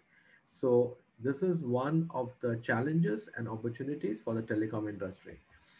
Um, if you see uh, the global figures and if you compare Asia Pacific and more or less Philippines matches Asia Pacific, still 60% uh, of the population is not uh, are not using internet uh, in the sense they use internet on mobile, but proper internet usage is still missing. And so this offers a challenge as well as opportunity for the telcos to cater to this unserved market. Um, the speed and so the applications and the usage since 1992 has million times grown. It means in 1992, um, the global internet traffic was 100 GB per day. In 1997, it has grown 24 times. It became 100 GB per hour. Today, we have 1.5 million GB per second. So this is the growth that we are talking about in telecom. And we remember when we entered Philippines and South Asia in 1990s, uh, we had to justify uh, the need of connecting fiber optic to the islands. And today, I think this is a natural choice. Just a very quick, uh, my old slide uh, since 2019, uh, what a 60 second um, internet, uh, internet minute can do. Can you imagine uh, in 160 second, 188 emails can be so uh, sent. 700,000 hours of Netflix can be watched. Um, 90,000 people can tweet. Uh, one 4.5 million videos can be viewed and so on. So a 60 second data traffic when you provide, for example, uh, in desert, uh, when you don't have uh, water, so people uh, do not drink water. But once they have water, they start drinking. This is the same as uh, fiber optic and uh, communication. If the people living on remote islands, they do not have a facility and they're only dependent on the very expensive satellite communication, they are not using all these applications. Once they are provided with a cheap uh, and economical uh, data connectivity, the usage grows like anything. And we have seen in many, many parts of the world from Chile to Alaska to uh, remote uh, South American uh, and South Asia that the islands and the remote areas social they have developed socially and they also developed economically once they provided the fiber connection. Now, this is our plant in Germany where we manufacture submarine cables. it's based directly on the sea um, the direct loading can be done of the submarine cable into the ships and transported to the different areas. Since 1899, NSW has been uh, manufacturing submarine cables. Now, uh, Philippines, uh, so first of all, congratulations to the Philippines government. Um, Philippines was among the first countries to, uh, let's say, uh, realize the need of connecting its remote islands till today, um, even today, 7,641 of total islands, only 2,000 to 2,500 islands have been connected. Like I said before, since 1990s, NSW, that then part of Siemens, um, took part in a very, very prestigious project of PLDT. It was a pioneer project, were connecting from north to south uh, Philippines, the three major uh, island group from Luzon, Visayas, Mindanao. So it was the world's largest repeaterless submarine project that time. Uh, it was finished uh, as a turnkey project within 18 months. So PLDT pioneered connecting uh, the islands with the submarine. Most of the South Asian countries, they were still dependent on satellite communication. So PLDT and the Philippines uh, is the torchbearer of connecting and providing solid backbone. Now, what is um, what are the critical requirements of the backbone? As, you, as the backbone words says, backbone has to be solid. If the backbone is weak, if backbone has compromises, the, the building and the infrastructure that is built on that backbone can collapse. We are talking about 5G, we are talking about so many applications the last five miles. But if the backbone is weak, these all, the, all these things will have problems. That is why many times you feel calls are dropping, the internet is not, um, internet connectivity is not stable, and there are a lot of outages. So that's why it's very critical to have a resilient backbone. It means both resilience and reliability in quality and security. Now, quality, we all understand the quality uh, products and experience products has to be used. They have to be solid. There should not be any compromise on the short-term capex gains or cheap product um, uh, from um, unexperienced vendors. So that's why quality is very important. On, in addition to the quality, the security is also important. The cyber security, the the manufacturer basis, the manufacturer should be reliable, uh, you know, and you can imagine all the things that are related to the national security, defense security, the security of the, and also the protection of the network is very important. Um, in addition to that, uh, because of Philippines um, and also uh, wider global environmental sensitivity nowadays, sustainability is very important. So the when we talk about permitting, when we talk about any permissions and design of the network, the products with the lowest carbon footprint have to be used. And this is where uh, our company and, um, and Prysmian companies and many others uh, international uh, good companies, they are focusing on sustainability when they take, uh, when they consider designing of the products also. So, and of course, uh, we already discussed this part in the morning, permitting uh, standard procedures and the fixed response time. The SLA from the government means fixed response time is very much important and required for, by the industry. We have done um, a lot of uh, projects uh, uh already um, as a submarine projects, uh, connecting different parts of Philippines islands uh, since 1997. Um, uh, we have worked with for PLDT. Also, we have provided uh, our cables uh, to Globe um, directly and indirectly. So NSW Prysmian is present in a very big way in telecom industry in Philippines. And we will be happy to give our global experience to Philippines authorities and also to the Philippines customers. Um, not only in telecom, um, I think uh, we discussed this. There's a need of uh, uh, there is a need of combining power and the fiber. So at Prysmian being the number one cable producer, we have been connecting uh, fiber, including uh, the power cable, including fibers. Uh, and we have connected a lot of islands in Philippines. These are the few examples um, that we have our, of our projects. This is of the last one.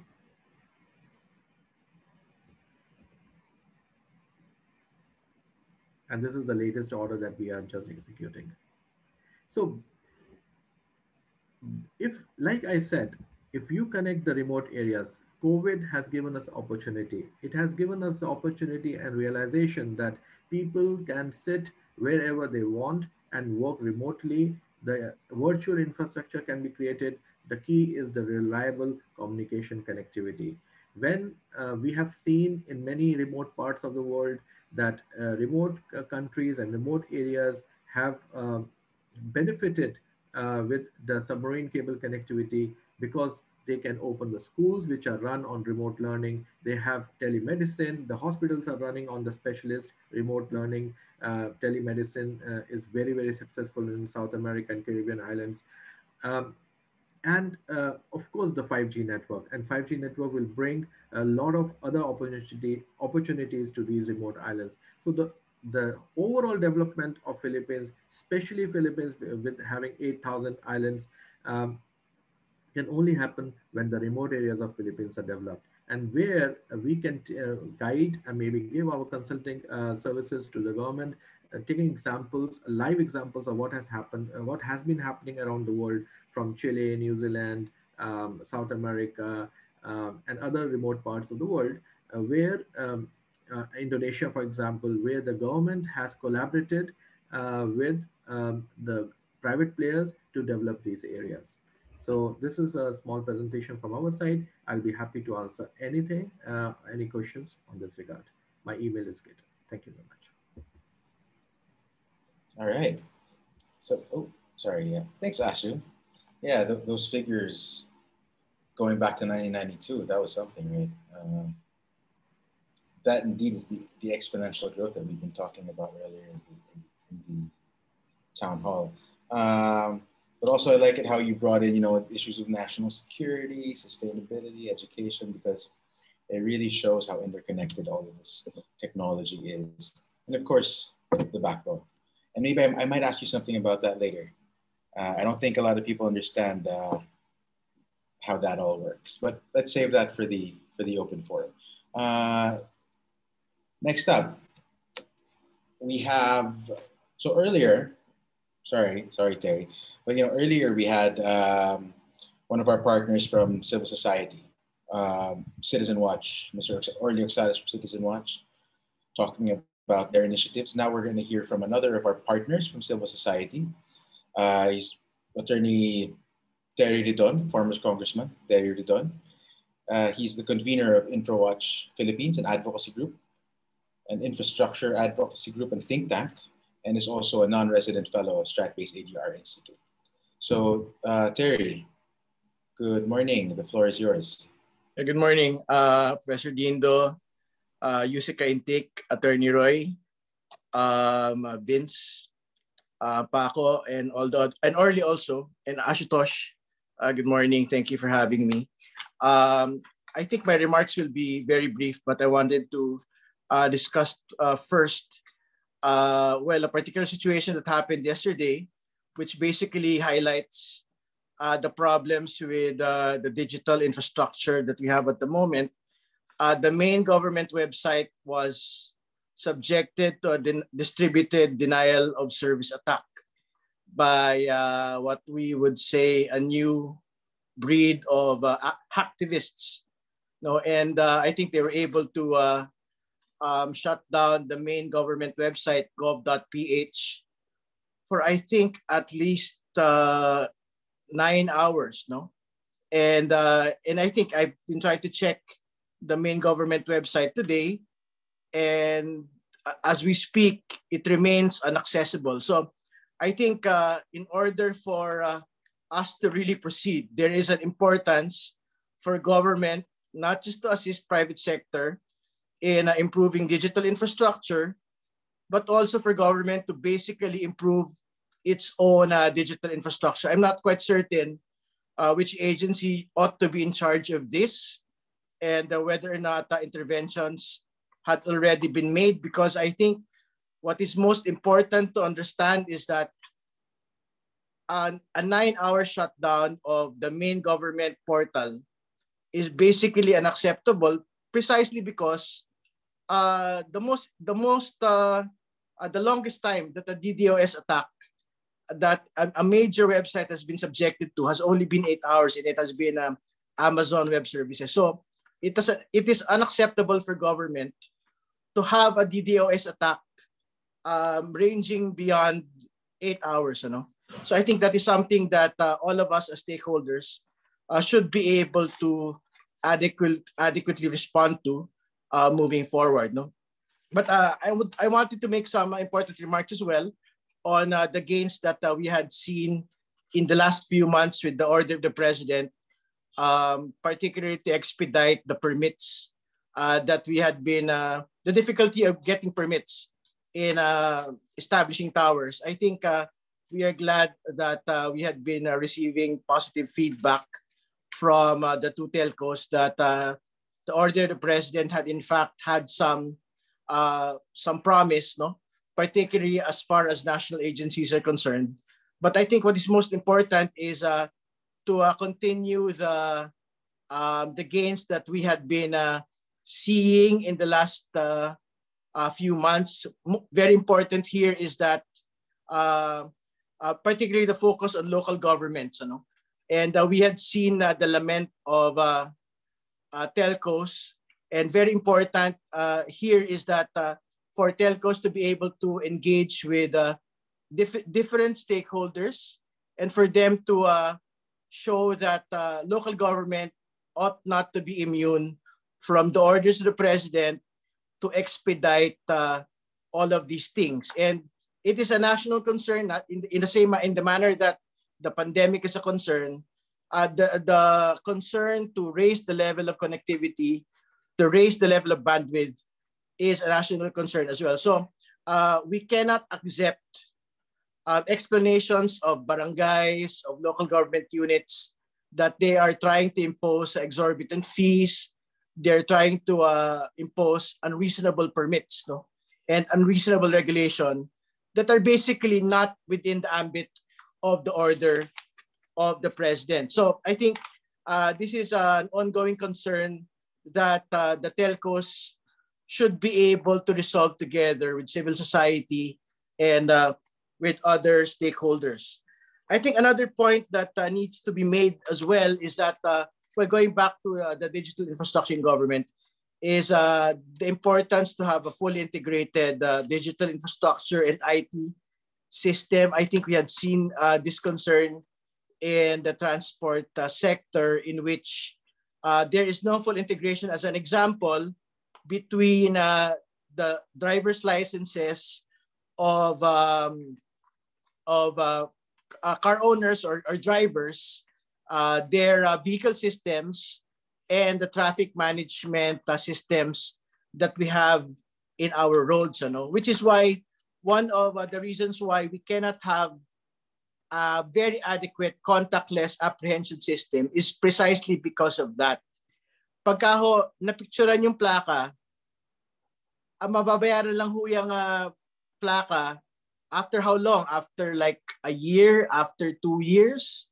Uh, masyado na hong matagal. So, uh, very important is the point that without without full integration of these systems, even the prospect of innovation, particularly for uh, the entry of uh, public-private partnerships into these areas, will be very difficult. Kasi nga ho, if it is fully integrated, you have different providers for these, uh, mahirapan po, for example, no one would want to enter into agreements, for example, in having a more contactless operation centers kung uh, hindi ho sila mababayaran in the soonest time kung mababayaran lang sila for a single uh, traffic violation after one to two years. So these things ought uh, government ought to really rethink its strategy in uh, specific areas as well. And I think as a final point, no, um, well, and this is a message really to the entire sector uh, I think there is a, a new innovation on uh, the delivery of uh, data through uh, uh, Elon Musk's Starlink. Know? So I think we had seen uh, some industry experts really um, trying to really sell this to the public. But of course, this is still uh, new technology. Uh, I think uh, Starlink is still a bit very far from uh, really penetrating uh, the Philippine market. There are still uh, regulatory permits that need to be undertaken for this. And I think the costs are still very high. I think at the level of in the in, in where they are having a limited release, I think around $600 is what is needed for them to uh, get access to the system. This is very far from uh, the mass market prices that we would like to see in order for have a, a greater penetration into the Philippine market. So I think uh, more needs to be done and uh, the relationship and the nexus between government, uh, private sector, and uh, civil society needs to be further developed because there are low-hanging fruits that uh, we can really uh, see some progress in particularly uh, with top level instructions from the president to basically expedite uh, the level of service and, and raise the level of service uh, that we are currently having. So yun lamang po. Maraming salamat. Uh, mabuhay po.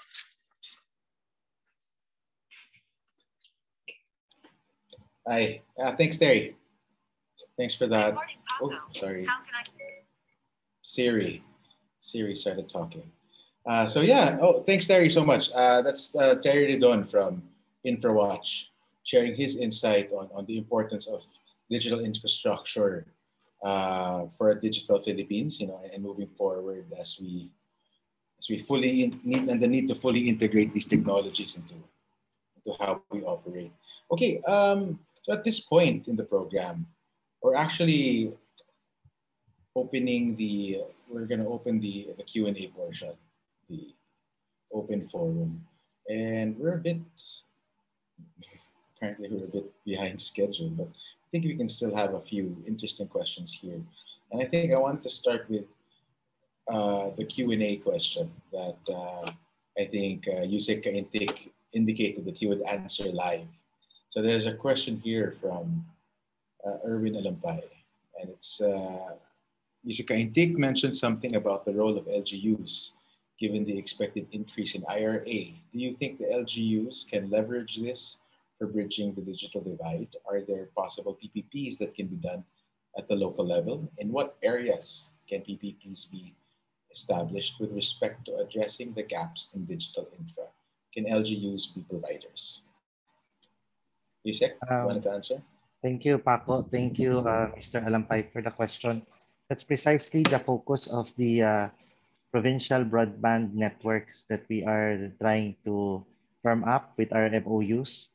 We're coming up with a framework wherein we will allow the LGUs to, on their end, create a PPP uh, arrangement.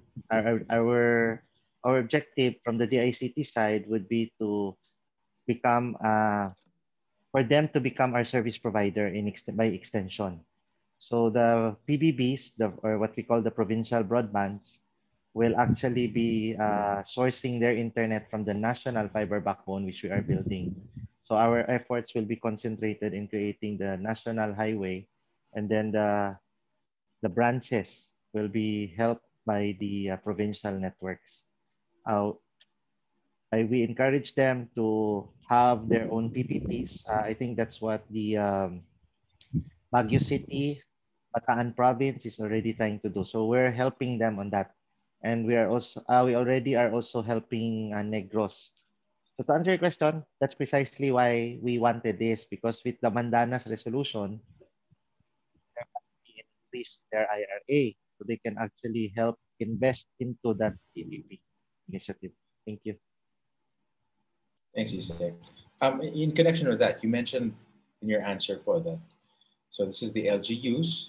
The question of uh, Mr. Alampay was about the LGUs, and you mentioned the something about the national government uh, providing the backbone uh, in so many words. And and we, I thought it was connected to another question that we got uh, here that, uh, sorry, sorry.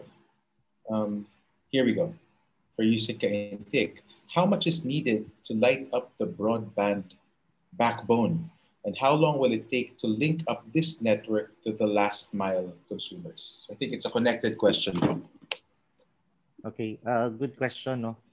Uh, the initial approach was to light up the NGCP fiber that we have but now we are exploring an alternative approach of simply leasing a network of rings from other, uh, from the existing fiber backbones that are being laid out by the likes of the existing telcos. So it's an open, we're gonna open that bid, no? Uh, the things that we, the what we're toying around is uh, region wide. So we're gonna bid out region one, region two, region three, and then we will just network them so those regional rings or regional or, or supra-regional rings, like the whole Bicol region with all its sub-regions, there will be a series of rings.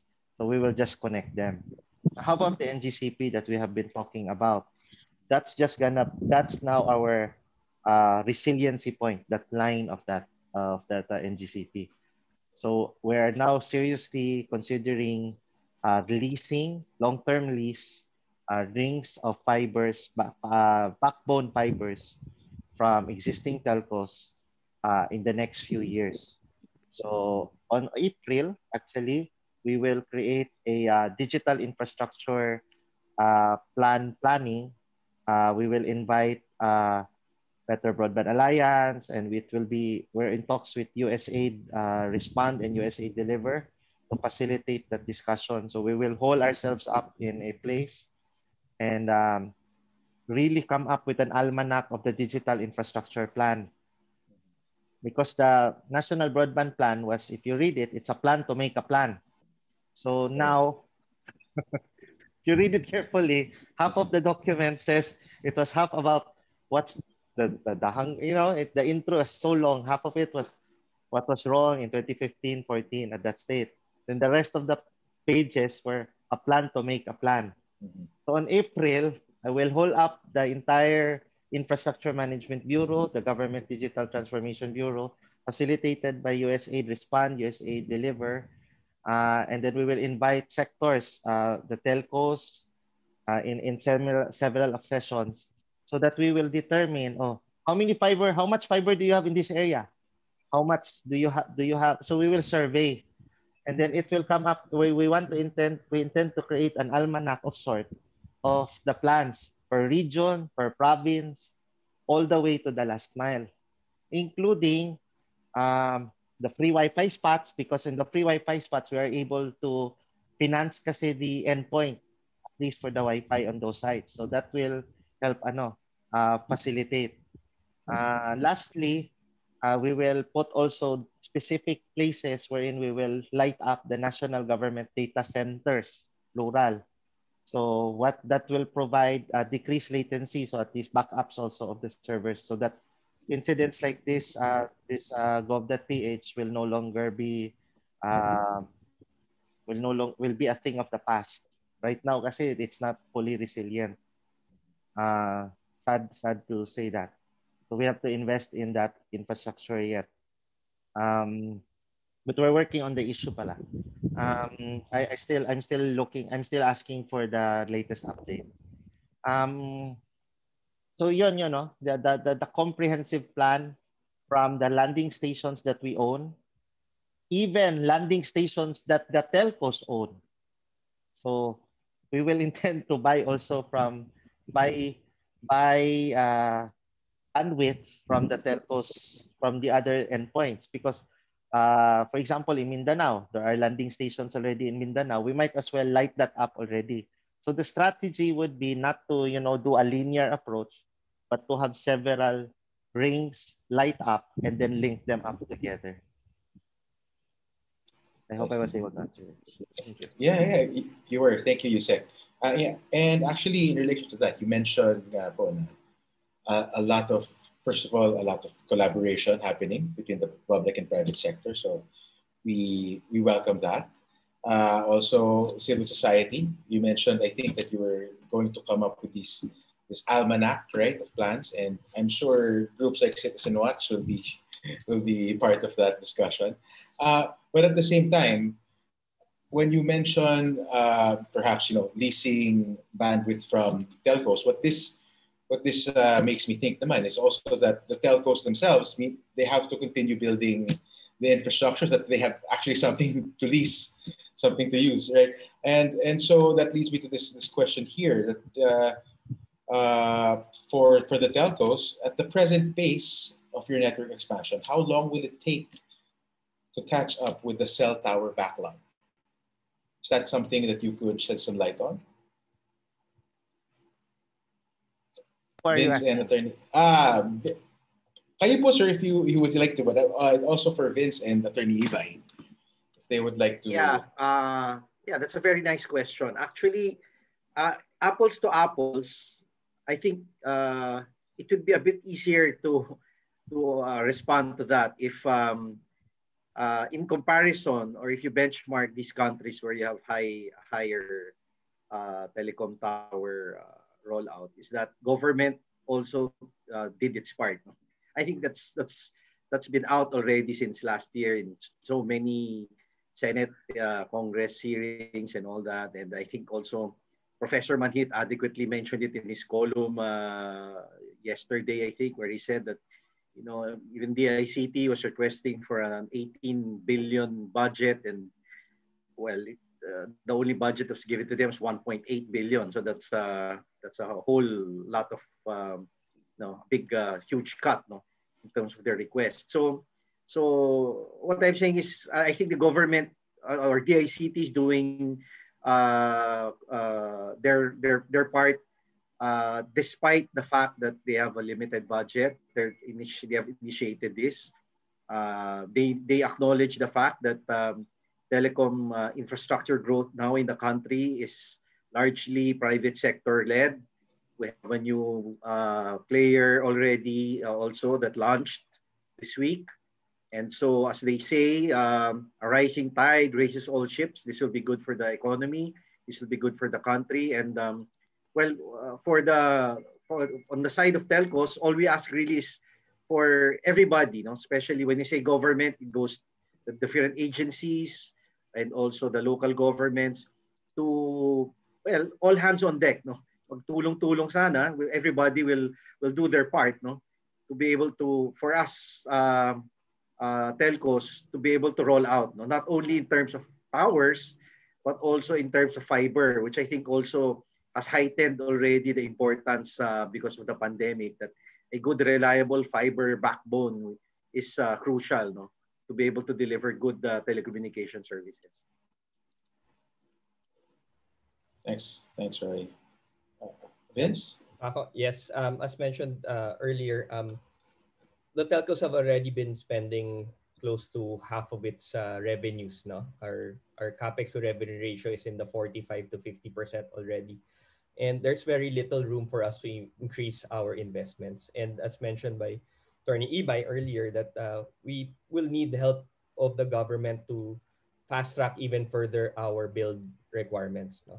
Um, they've also the government has also helped us uh, through easing the permits and also um, starting uh, and bringing in these towercos um, to the country. And uh, I think these towercos can continue to help us uh, uh, ease the capex pressures, if you will, um, and allow us to build more more sites. No. Uh, with more players investing in towers or passive equipment, so that uh, the telcos can uh, um, invest in more active equipment. No? So we'd rather invest in active equipment than on passive equipment. And uh, we continue to ask also the private sector, no, to uh, because I guess we, we need their help as well to be able to roll out our facilities to places that uh, cannot be reached at this point. Would you believe that there are certain areas in Metro Manila that we cannot reach because of opposition from the neighborhood or the villages, right? So these continue to be um, uh, blind spot. Uh, sorry, uh, uh, uh, hotspots for us, no, as far as uh, coverage and capacity is concerned. So it's really a, a uh, partnership across uh, the telcos, the private sector, um, the government, and civil society, you know, to to bridge uh, us to where we want to be as far as digital transformation is concerned. Thank you. Thanks, Vince. Uh, ne next up, I actually wanted to go back to a question earlier. Ashu was uh, raised earlier a question about, you know, connecting the, the many islands, and we're talking about the backbone, and, and now we're talking about, uh, you know, all of these cell towers. And I, I think we're almost getting ahead of ourselves because I don't. I think a lot of people don't understand um, like what the role of the, the backbone or even submarine cables are in, in this whole industry. We're, we're so used to having you know mobile data, Wi-Fi that we think internet is wireless, but in fact it's uh, it's not quite the case. Maybe I, Ashu, do you think you you could explain a bit to, to our participants what? Yeah, thank you. How it all works. I can try. Um, I can try. Um, basically, submarine cables are uh, the big pipes that carry your uh, uh, day-to-day traffic and transport it from one point to the other point. Now, um, as you can uh, imagine, um, there is a um, localized traffic, let's say last mile traffic. It has to go to the base station. Several base stations are connected uh, to a main network, uh, main switch, and this these regional, then you have uh, localized switch, and then you have regional switch, and every everything is connected. So all this big traffic that is consolidated has to travel and these travel uh, goes through the arteries the big arteries and these arteries of telecommunication is a backbone and these backbones provide the primary uh, pipes that carry this traffic and these pipes are the basic they have to be solid And uh, like Mr. Roy also said, you need a very high quality, reliable backbone to carry the basic uh, traffic of day-to-day traffic, right? So all these telcos, the first step they do when they in a, they uh, resurrect their infrastructure is to create the first backbone, and over the backbone they created they create the access networks. The, these access networks uh, take the local traffic and then they collect these uh, big, the traffic to and transport it to the regional hubs. Now, when when when you have islands, uh, 7,000 islands, uh, these islands need to be connected to the main switch, and the, so you have the traffic of those islands, and these islands have to communicate with the hubs like internet ISPs and then data centers, and these this traffic of one island has to be transported to the big islands and to the main switch, uh, to the national network, and they have to be meshed together. This complete traffic in at the background is uh, going through submarine cables. Now, uh, most of the people around the world think the uh, internet traffic goes via satellite between uh, uh, countries and Europe and US. All this internet traffic travels through submarine cables.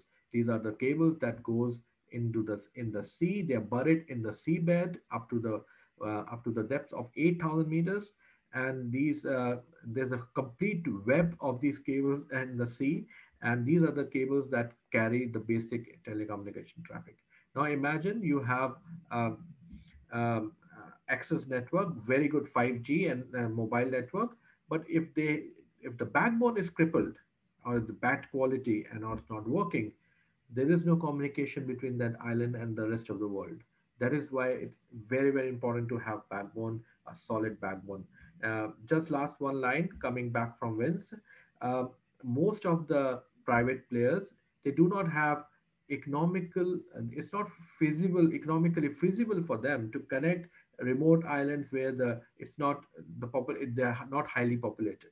So most of the world governments and also Philippines government is taking the initiative initiative to create a ICT fund. And the government fund, they basically what they do is they uh, issue a tender and they finance up to 70% of this network backbone creation. And they, these uh, tenders uh, are issued to the private companies who, who are basically financed by the government for 70% of the initial capex. And then there is a PPP model that um, government and the private companies, they work together to create the connectivity uh, to these 7,000 islands.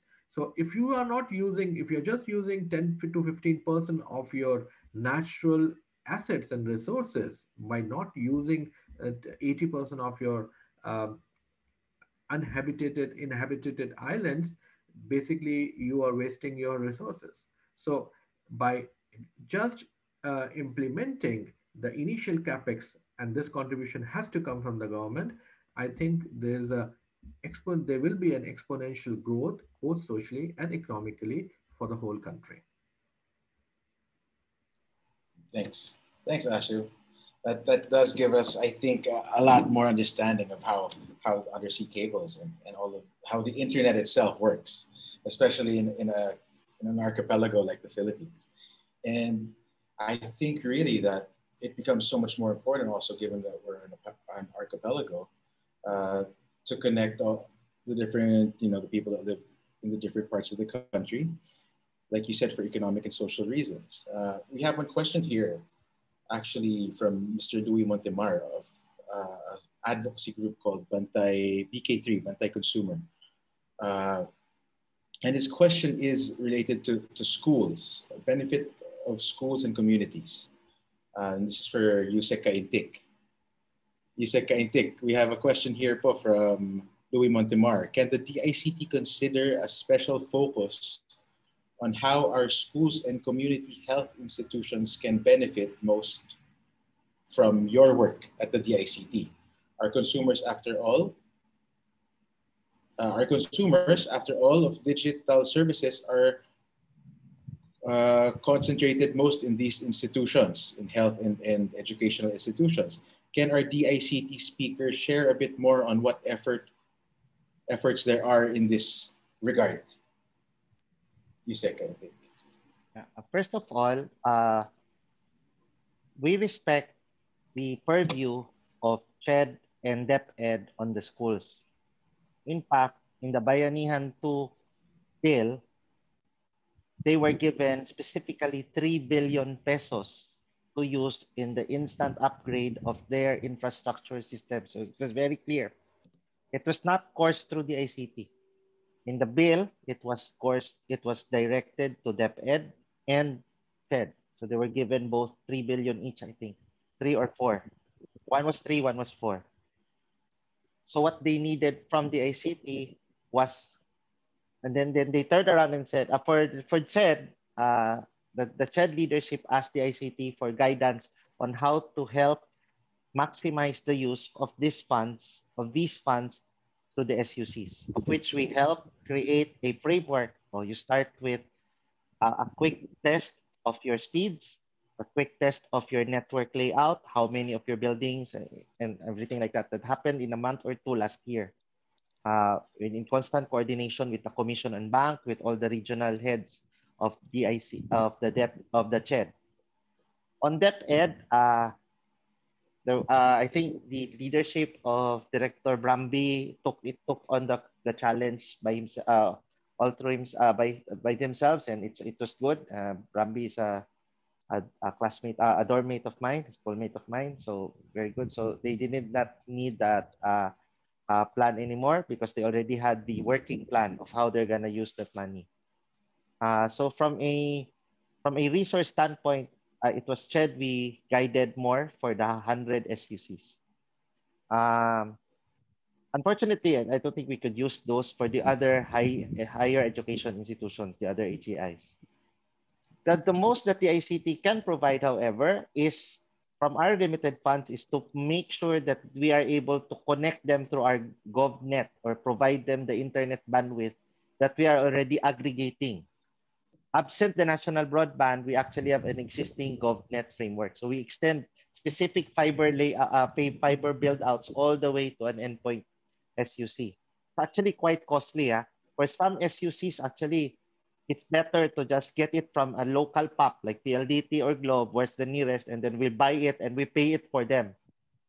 But that with the 3 billion pesos that CHED has, they could actually pay for that as well. So all we did was help them on that aspect. We also helped the CHED on creating a uniform uh, ecosystem. I think they selected two or three uh, learning management systems platform for the for some of their SUCs to use. So some of their SUCs are already clients of PLDT. They're using their PLDT uh, MS Teams uh, solution or an LMS. Some are even using Globes MS clients nila. They're all existing clients. But there are other SUCs, the not so rich ones, no? Sorry for the word, but the not so rich, not so uh, the economically challenged SUCs. It was the DICTs LMS that is being used by its ICT Academy that we retrofitted for the use of the CHED for the other SUCs. For the DepEd, uh, we have been collaborating naman. but We simply approve their IS plan because I think the DepEd has a more, uh, they already have their plan even before the pandemic. I think uh, the, they have an entire program which we supported.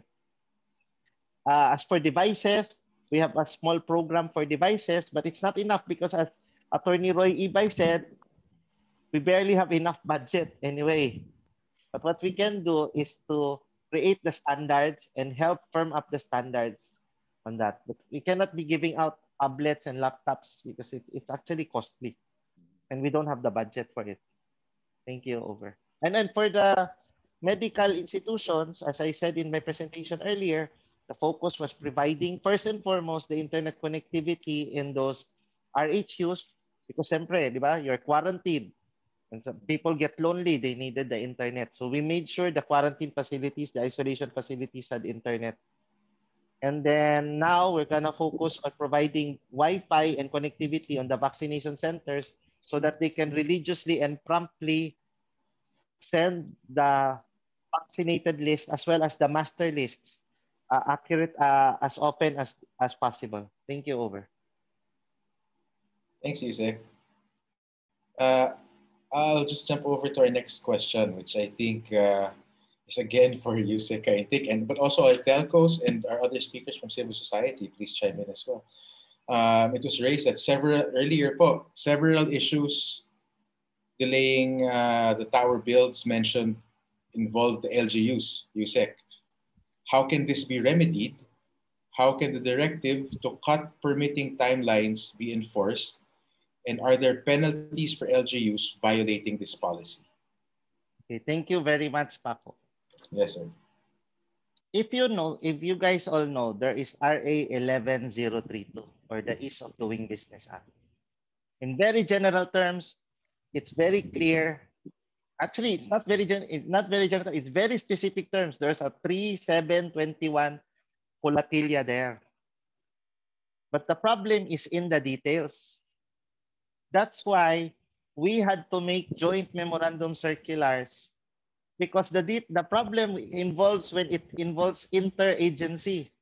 When a permit, a permit cycle actually involves interagency, right? if you do not thresh out the details and really ask, oh, so why is it 20? Why can it be done by two days? You have to really do that. And that's what we had to exercise. I need you guys to understand, huh? there's an entire effort prior to just signing the JMC, what we had called a regulatory impact assessment. I sorry, I, I, I used to be the ARTA consultant just prior to joining the ICT. So the whole regulatory reform was my project prior to joining the ICT. So very close to my heart. In fact, my observation, I guess you did, di ba, meron kaming, we have the central business portal, business one-stop shop. If I could just turn back time a bit, I might as well have concentrated on the after, the after, the, when the problems of existing businesses. Because registering a new business that happens once and uh, right? It, it's also very, there's so much talk about that. But for, for in the telco world the, the, the, the project the, the, the crux is not on getting in. It's about the, the day-to-day in each and every tower in each and every fiber you want to build so we have to thresh out again if i could only just turn back at time a little bit but it's again we just move forward the next focus is on fiber build out we have hurdled the hours. People are scared. And I'm sad that Troy said, yeah, but sometimes they still take 60 days. Okay? That's really bad. If you want to say no, say no to me fast. Right? You're gonna be busted. You're you're courting someone. If she says no, tell me soon, right? So that I can I can move on. But the problem is they say no so long. So our tracing out the steps, the reasoning, the argumentations, the criteria of deciding, we have to go through that level, sadly. And you have to go through that level because leave them on their own, the LGUs, they will not try to streamline the process. So we had to go through streamlining the process and then come up with the JMC. So that's how, that's the effort that the DICT has to do because we're the lead on this area. ARTA has a lot of areas. Ha? They have logistics pa, marami pang other industries. But it is the DICT's job to spearhead. And then ARTA, maganda kay ARTA because it's like a bulldog eh. Right? Bulldog. Oh, we, we, we have to go through the press the details. of boss, if they do not follow, you sue them, huh? Something like that. So that's how the relationship goes. But that we have to go through the details or else they will find and skirt issues. Tama ba, Attorney Roy? And then they are now, they're starting to creep up again. You know, Filipinos are very creative in answering no long eh.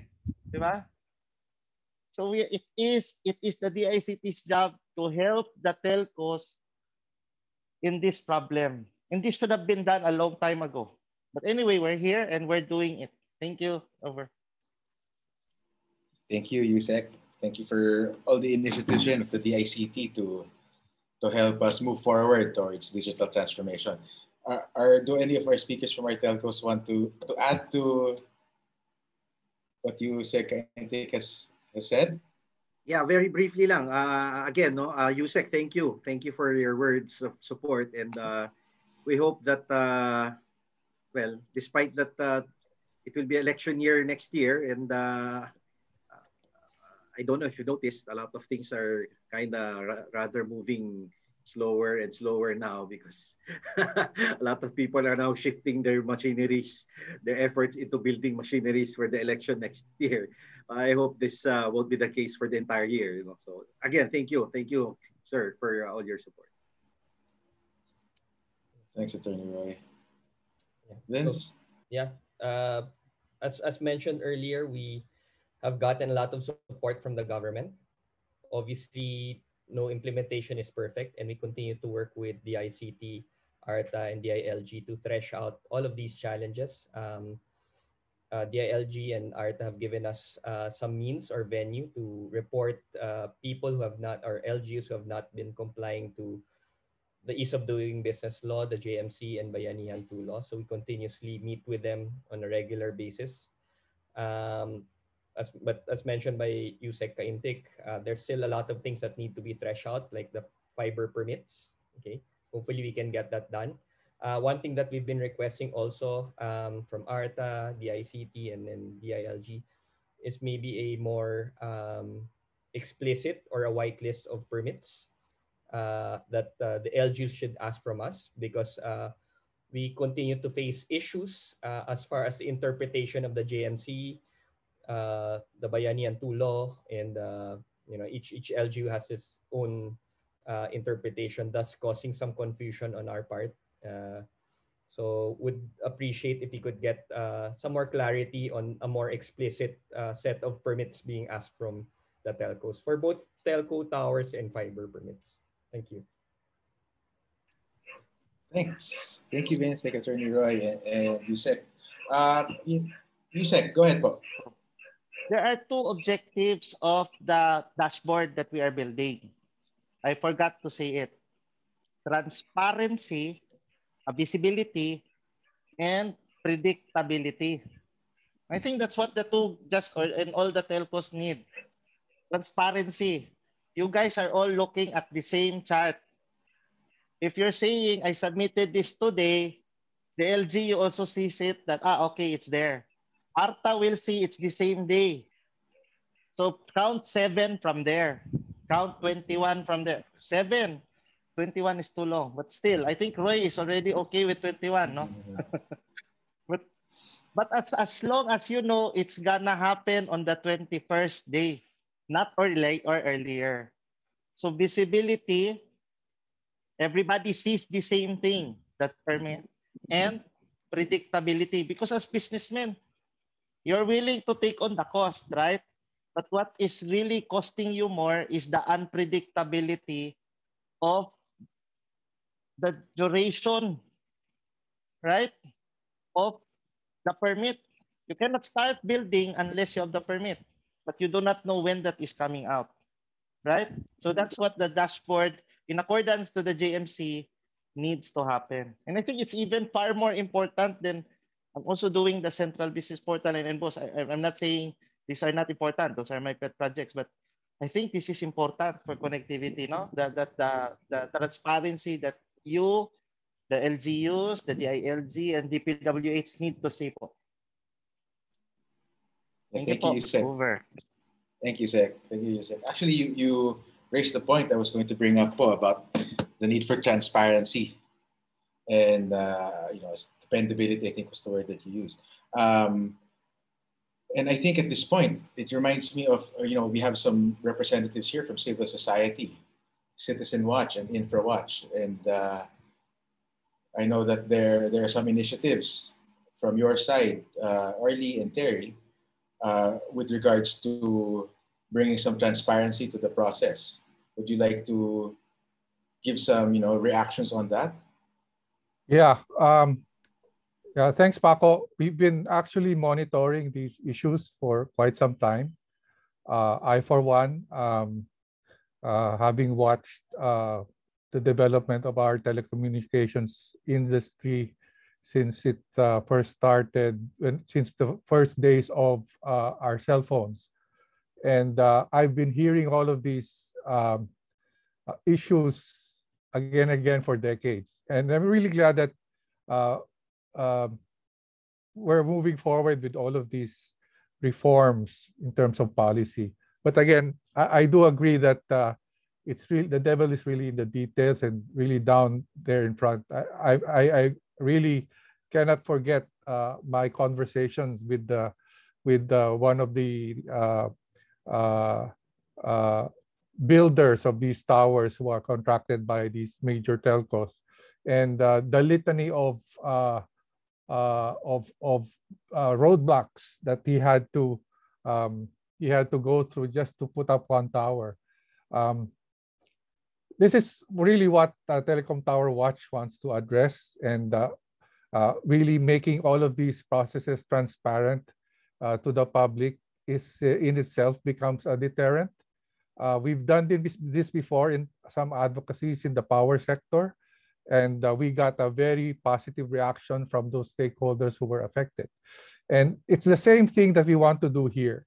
Uh, the, the stakeholders in, in the digital infrastructure is, is really uh, from left to right of the spectrum. And um, if there are really some uh, parties that are causing un, undue delay, um, we, we need to get that out. And uh, uh, getting that out and out in the public is uh, in itself is already a, a big deterrent because uh, people get to know or the public gets to know, the government and the regulators, that uh, there's a problem in this area that uh, uh, that's totally unreasonable. Therefore, there should be action on it. We're, we're, uh, we're, we're really happy that we're going to work with the DICT and, and the telcos and all the stakeholders on this. And we're actually going to plan our first session sometime after Holy Week. Thank you.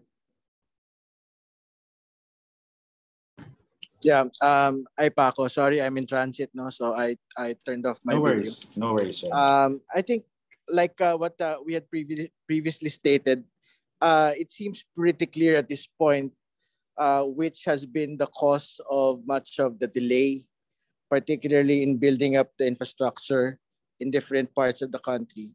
So I think what's most important is for uh, national government, civil society, and the private sector to work together, no, to basically resolve this problem.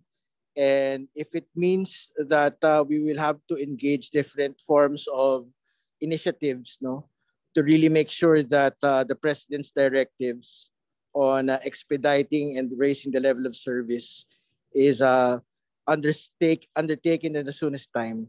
I think all of us should uh, definitely uh, work together. No? So, ibig sabihin, hindi talaga obra na yung pong mga kapitan sa mga kagawad will basically just uh, give us a blank wall and wala na ho tayong magagawa. That is not how government works.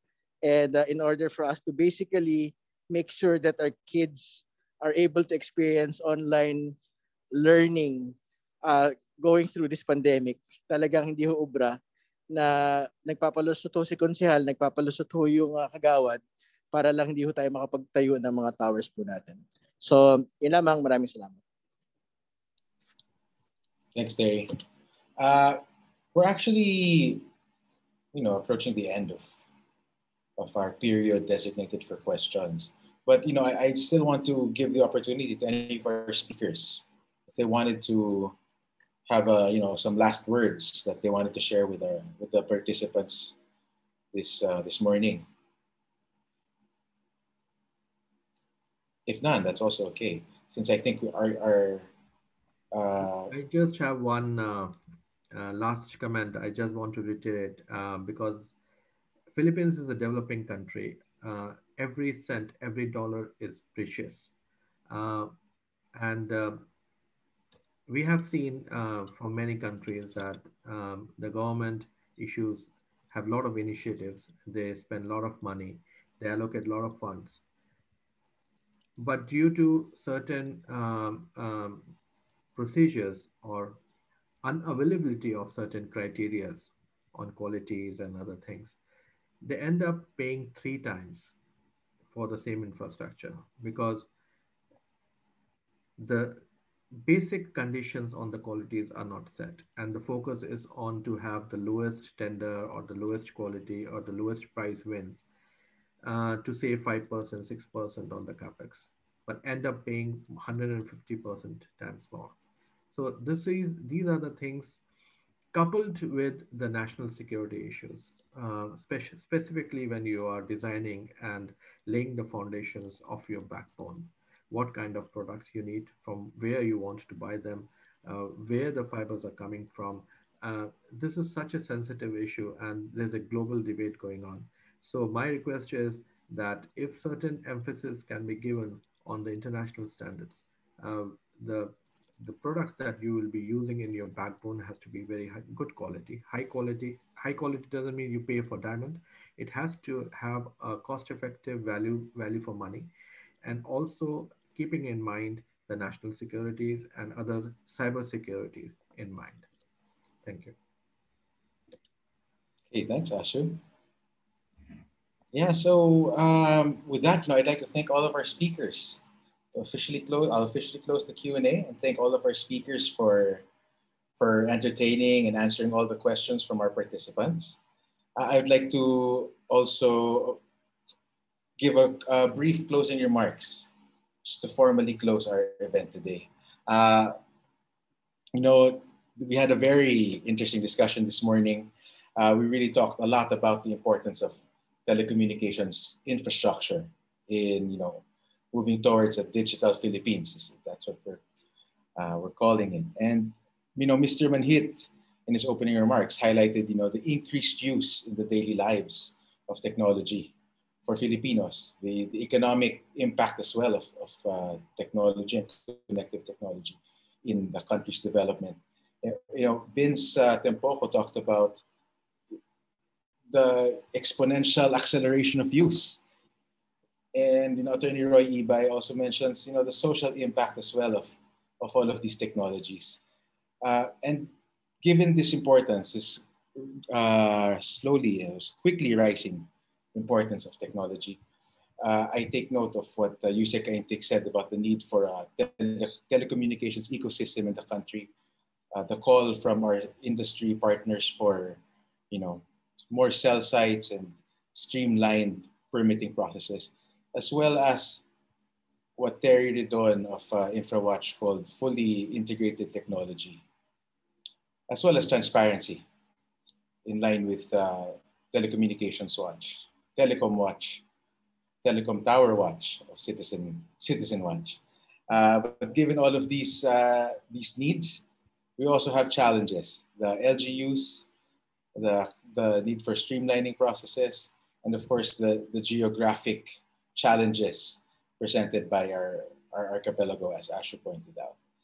Uh, and with that, you know, Stratbase ADRi really thinks that the solution to this is uh, to work together if that means in the process of, uh, of pushing for more budget allocation for the DICT, for the National Broadband Plan in the 2022 national budget, uh, to more collaboration across sectors and across levels of government, national and local, to streamline the process to deliver quality and reliable services to Filipinos.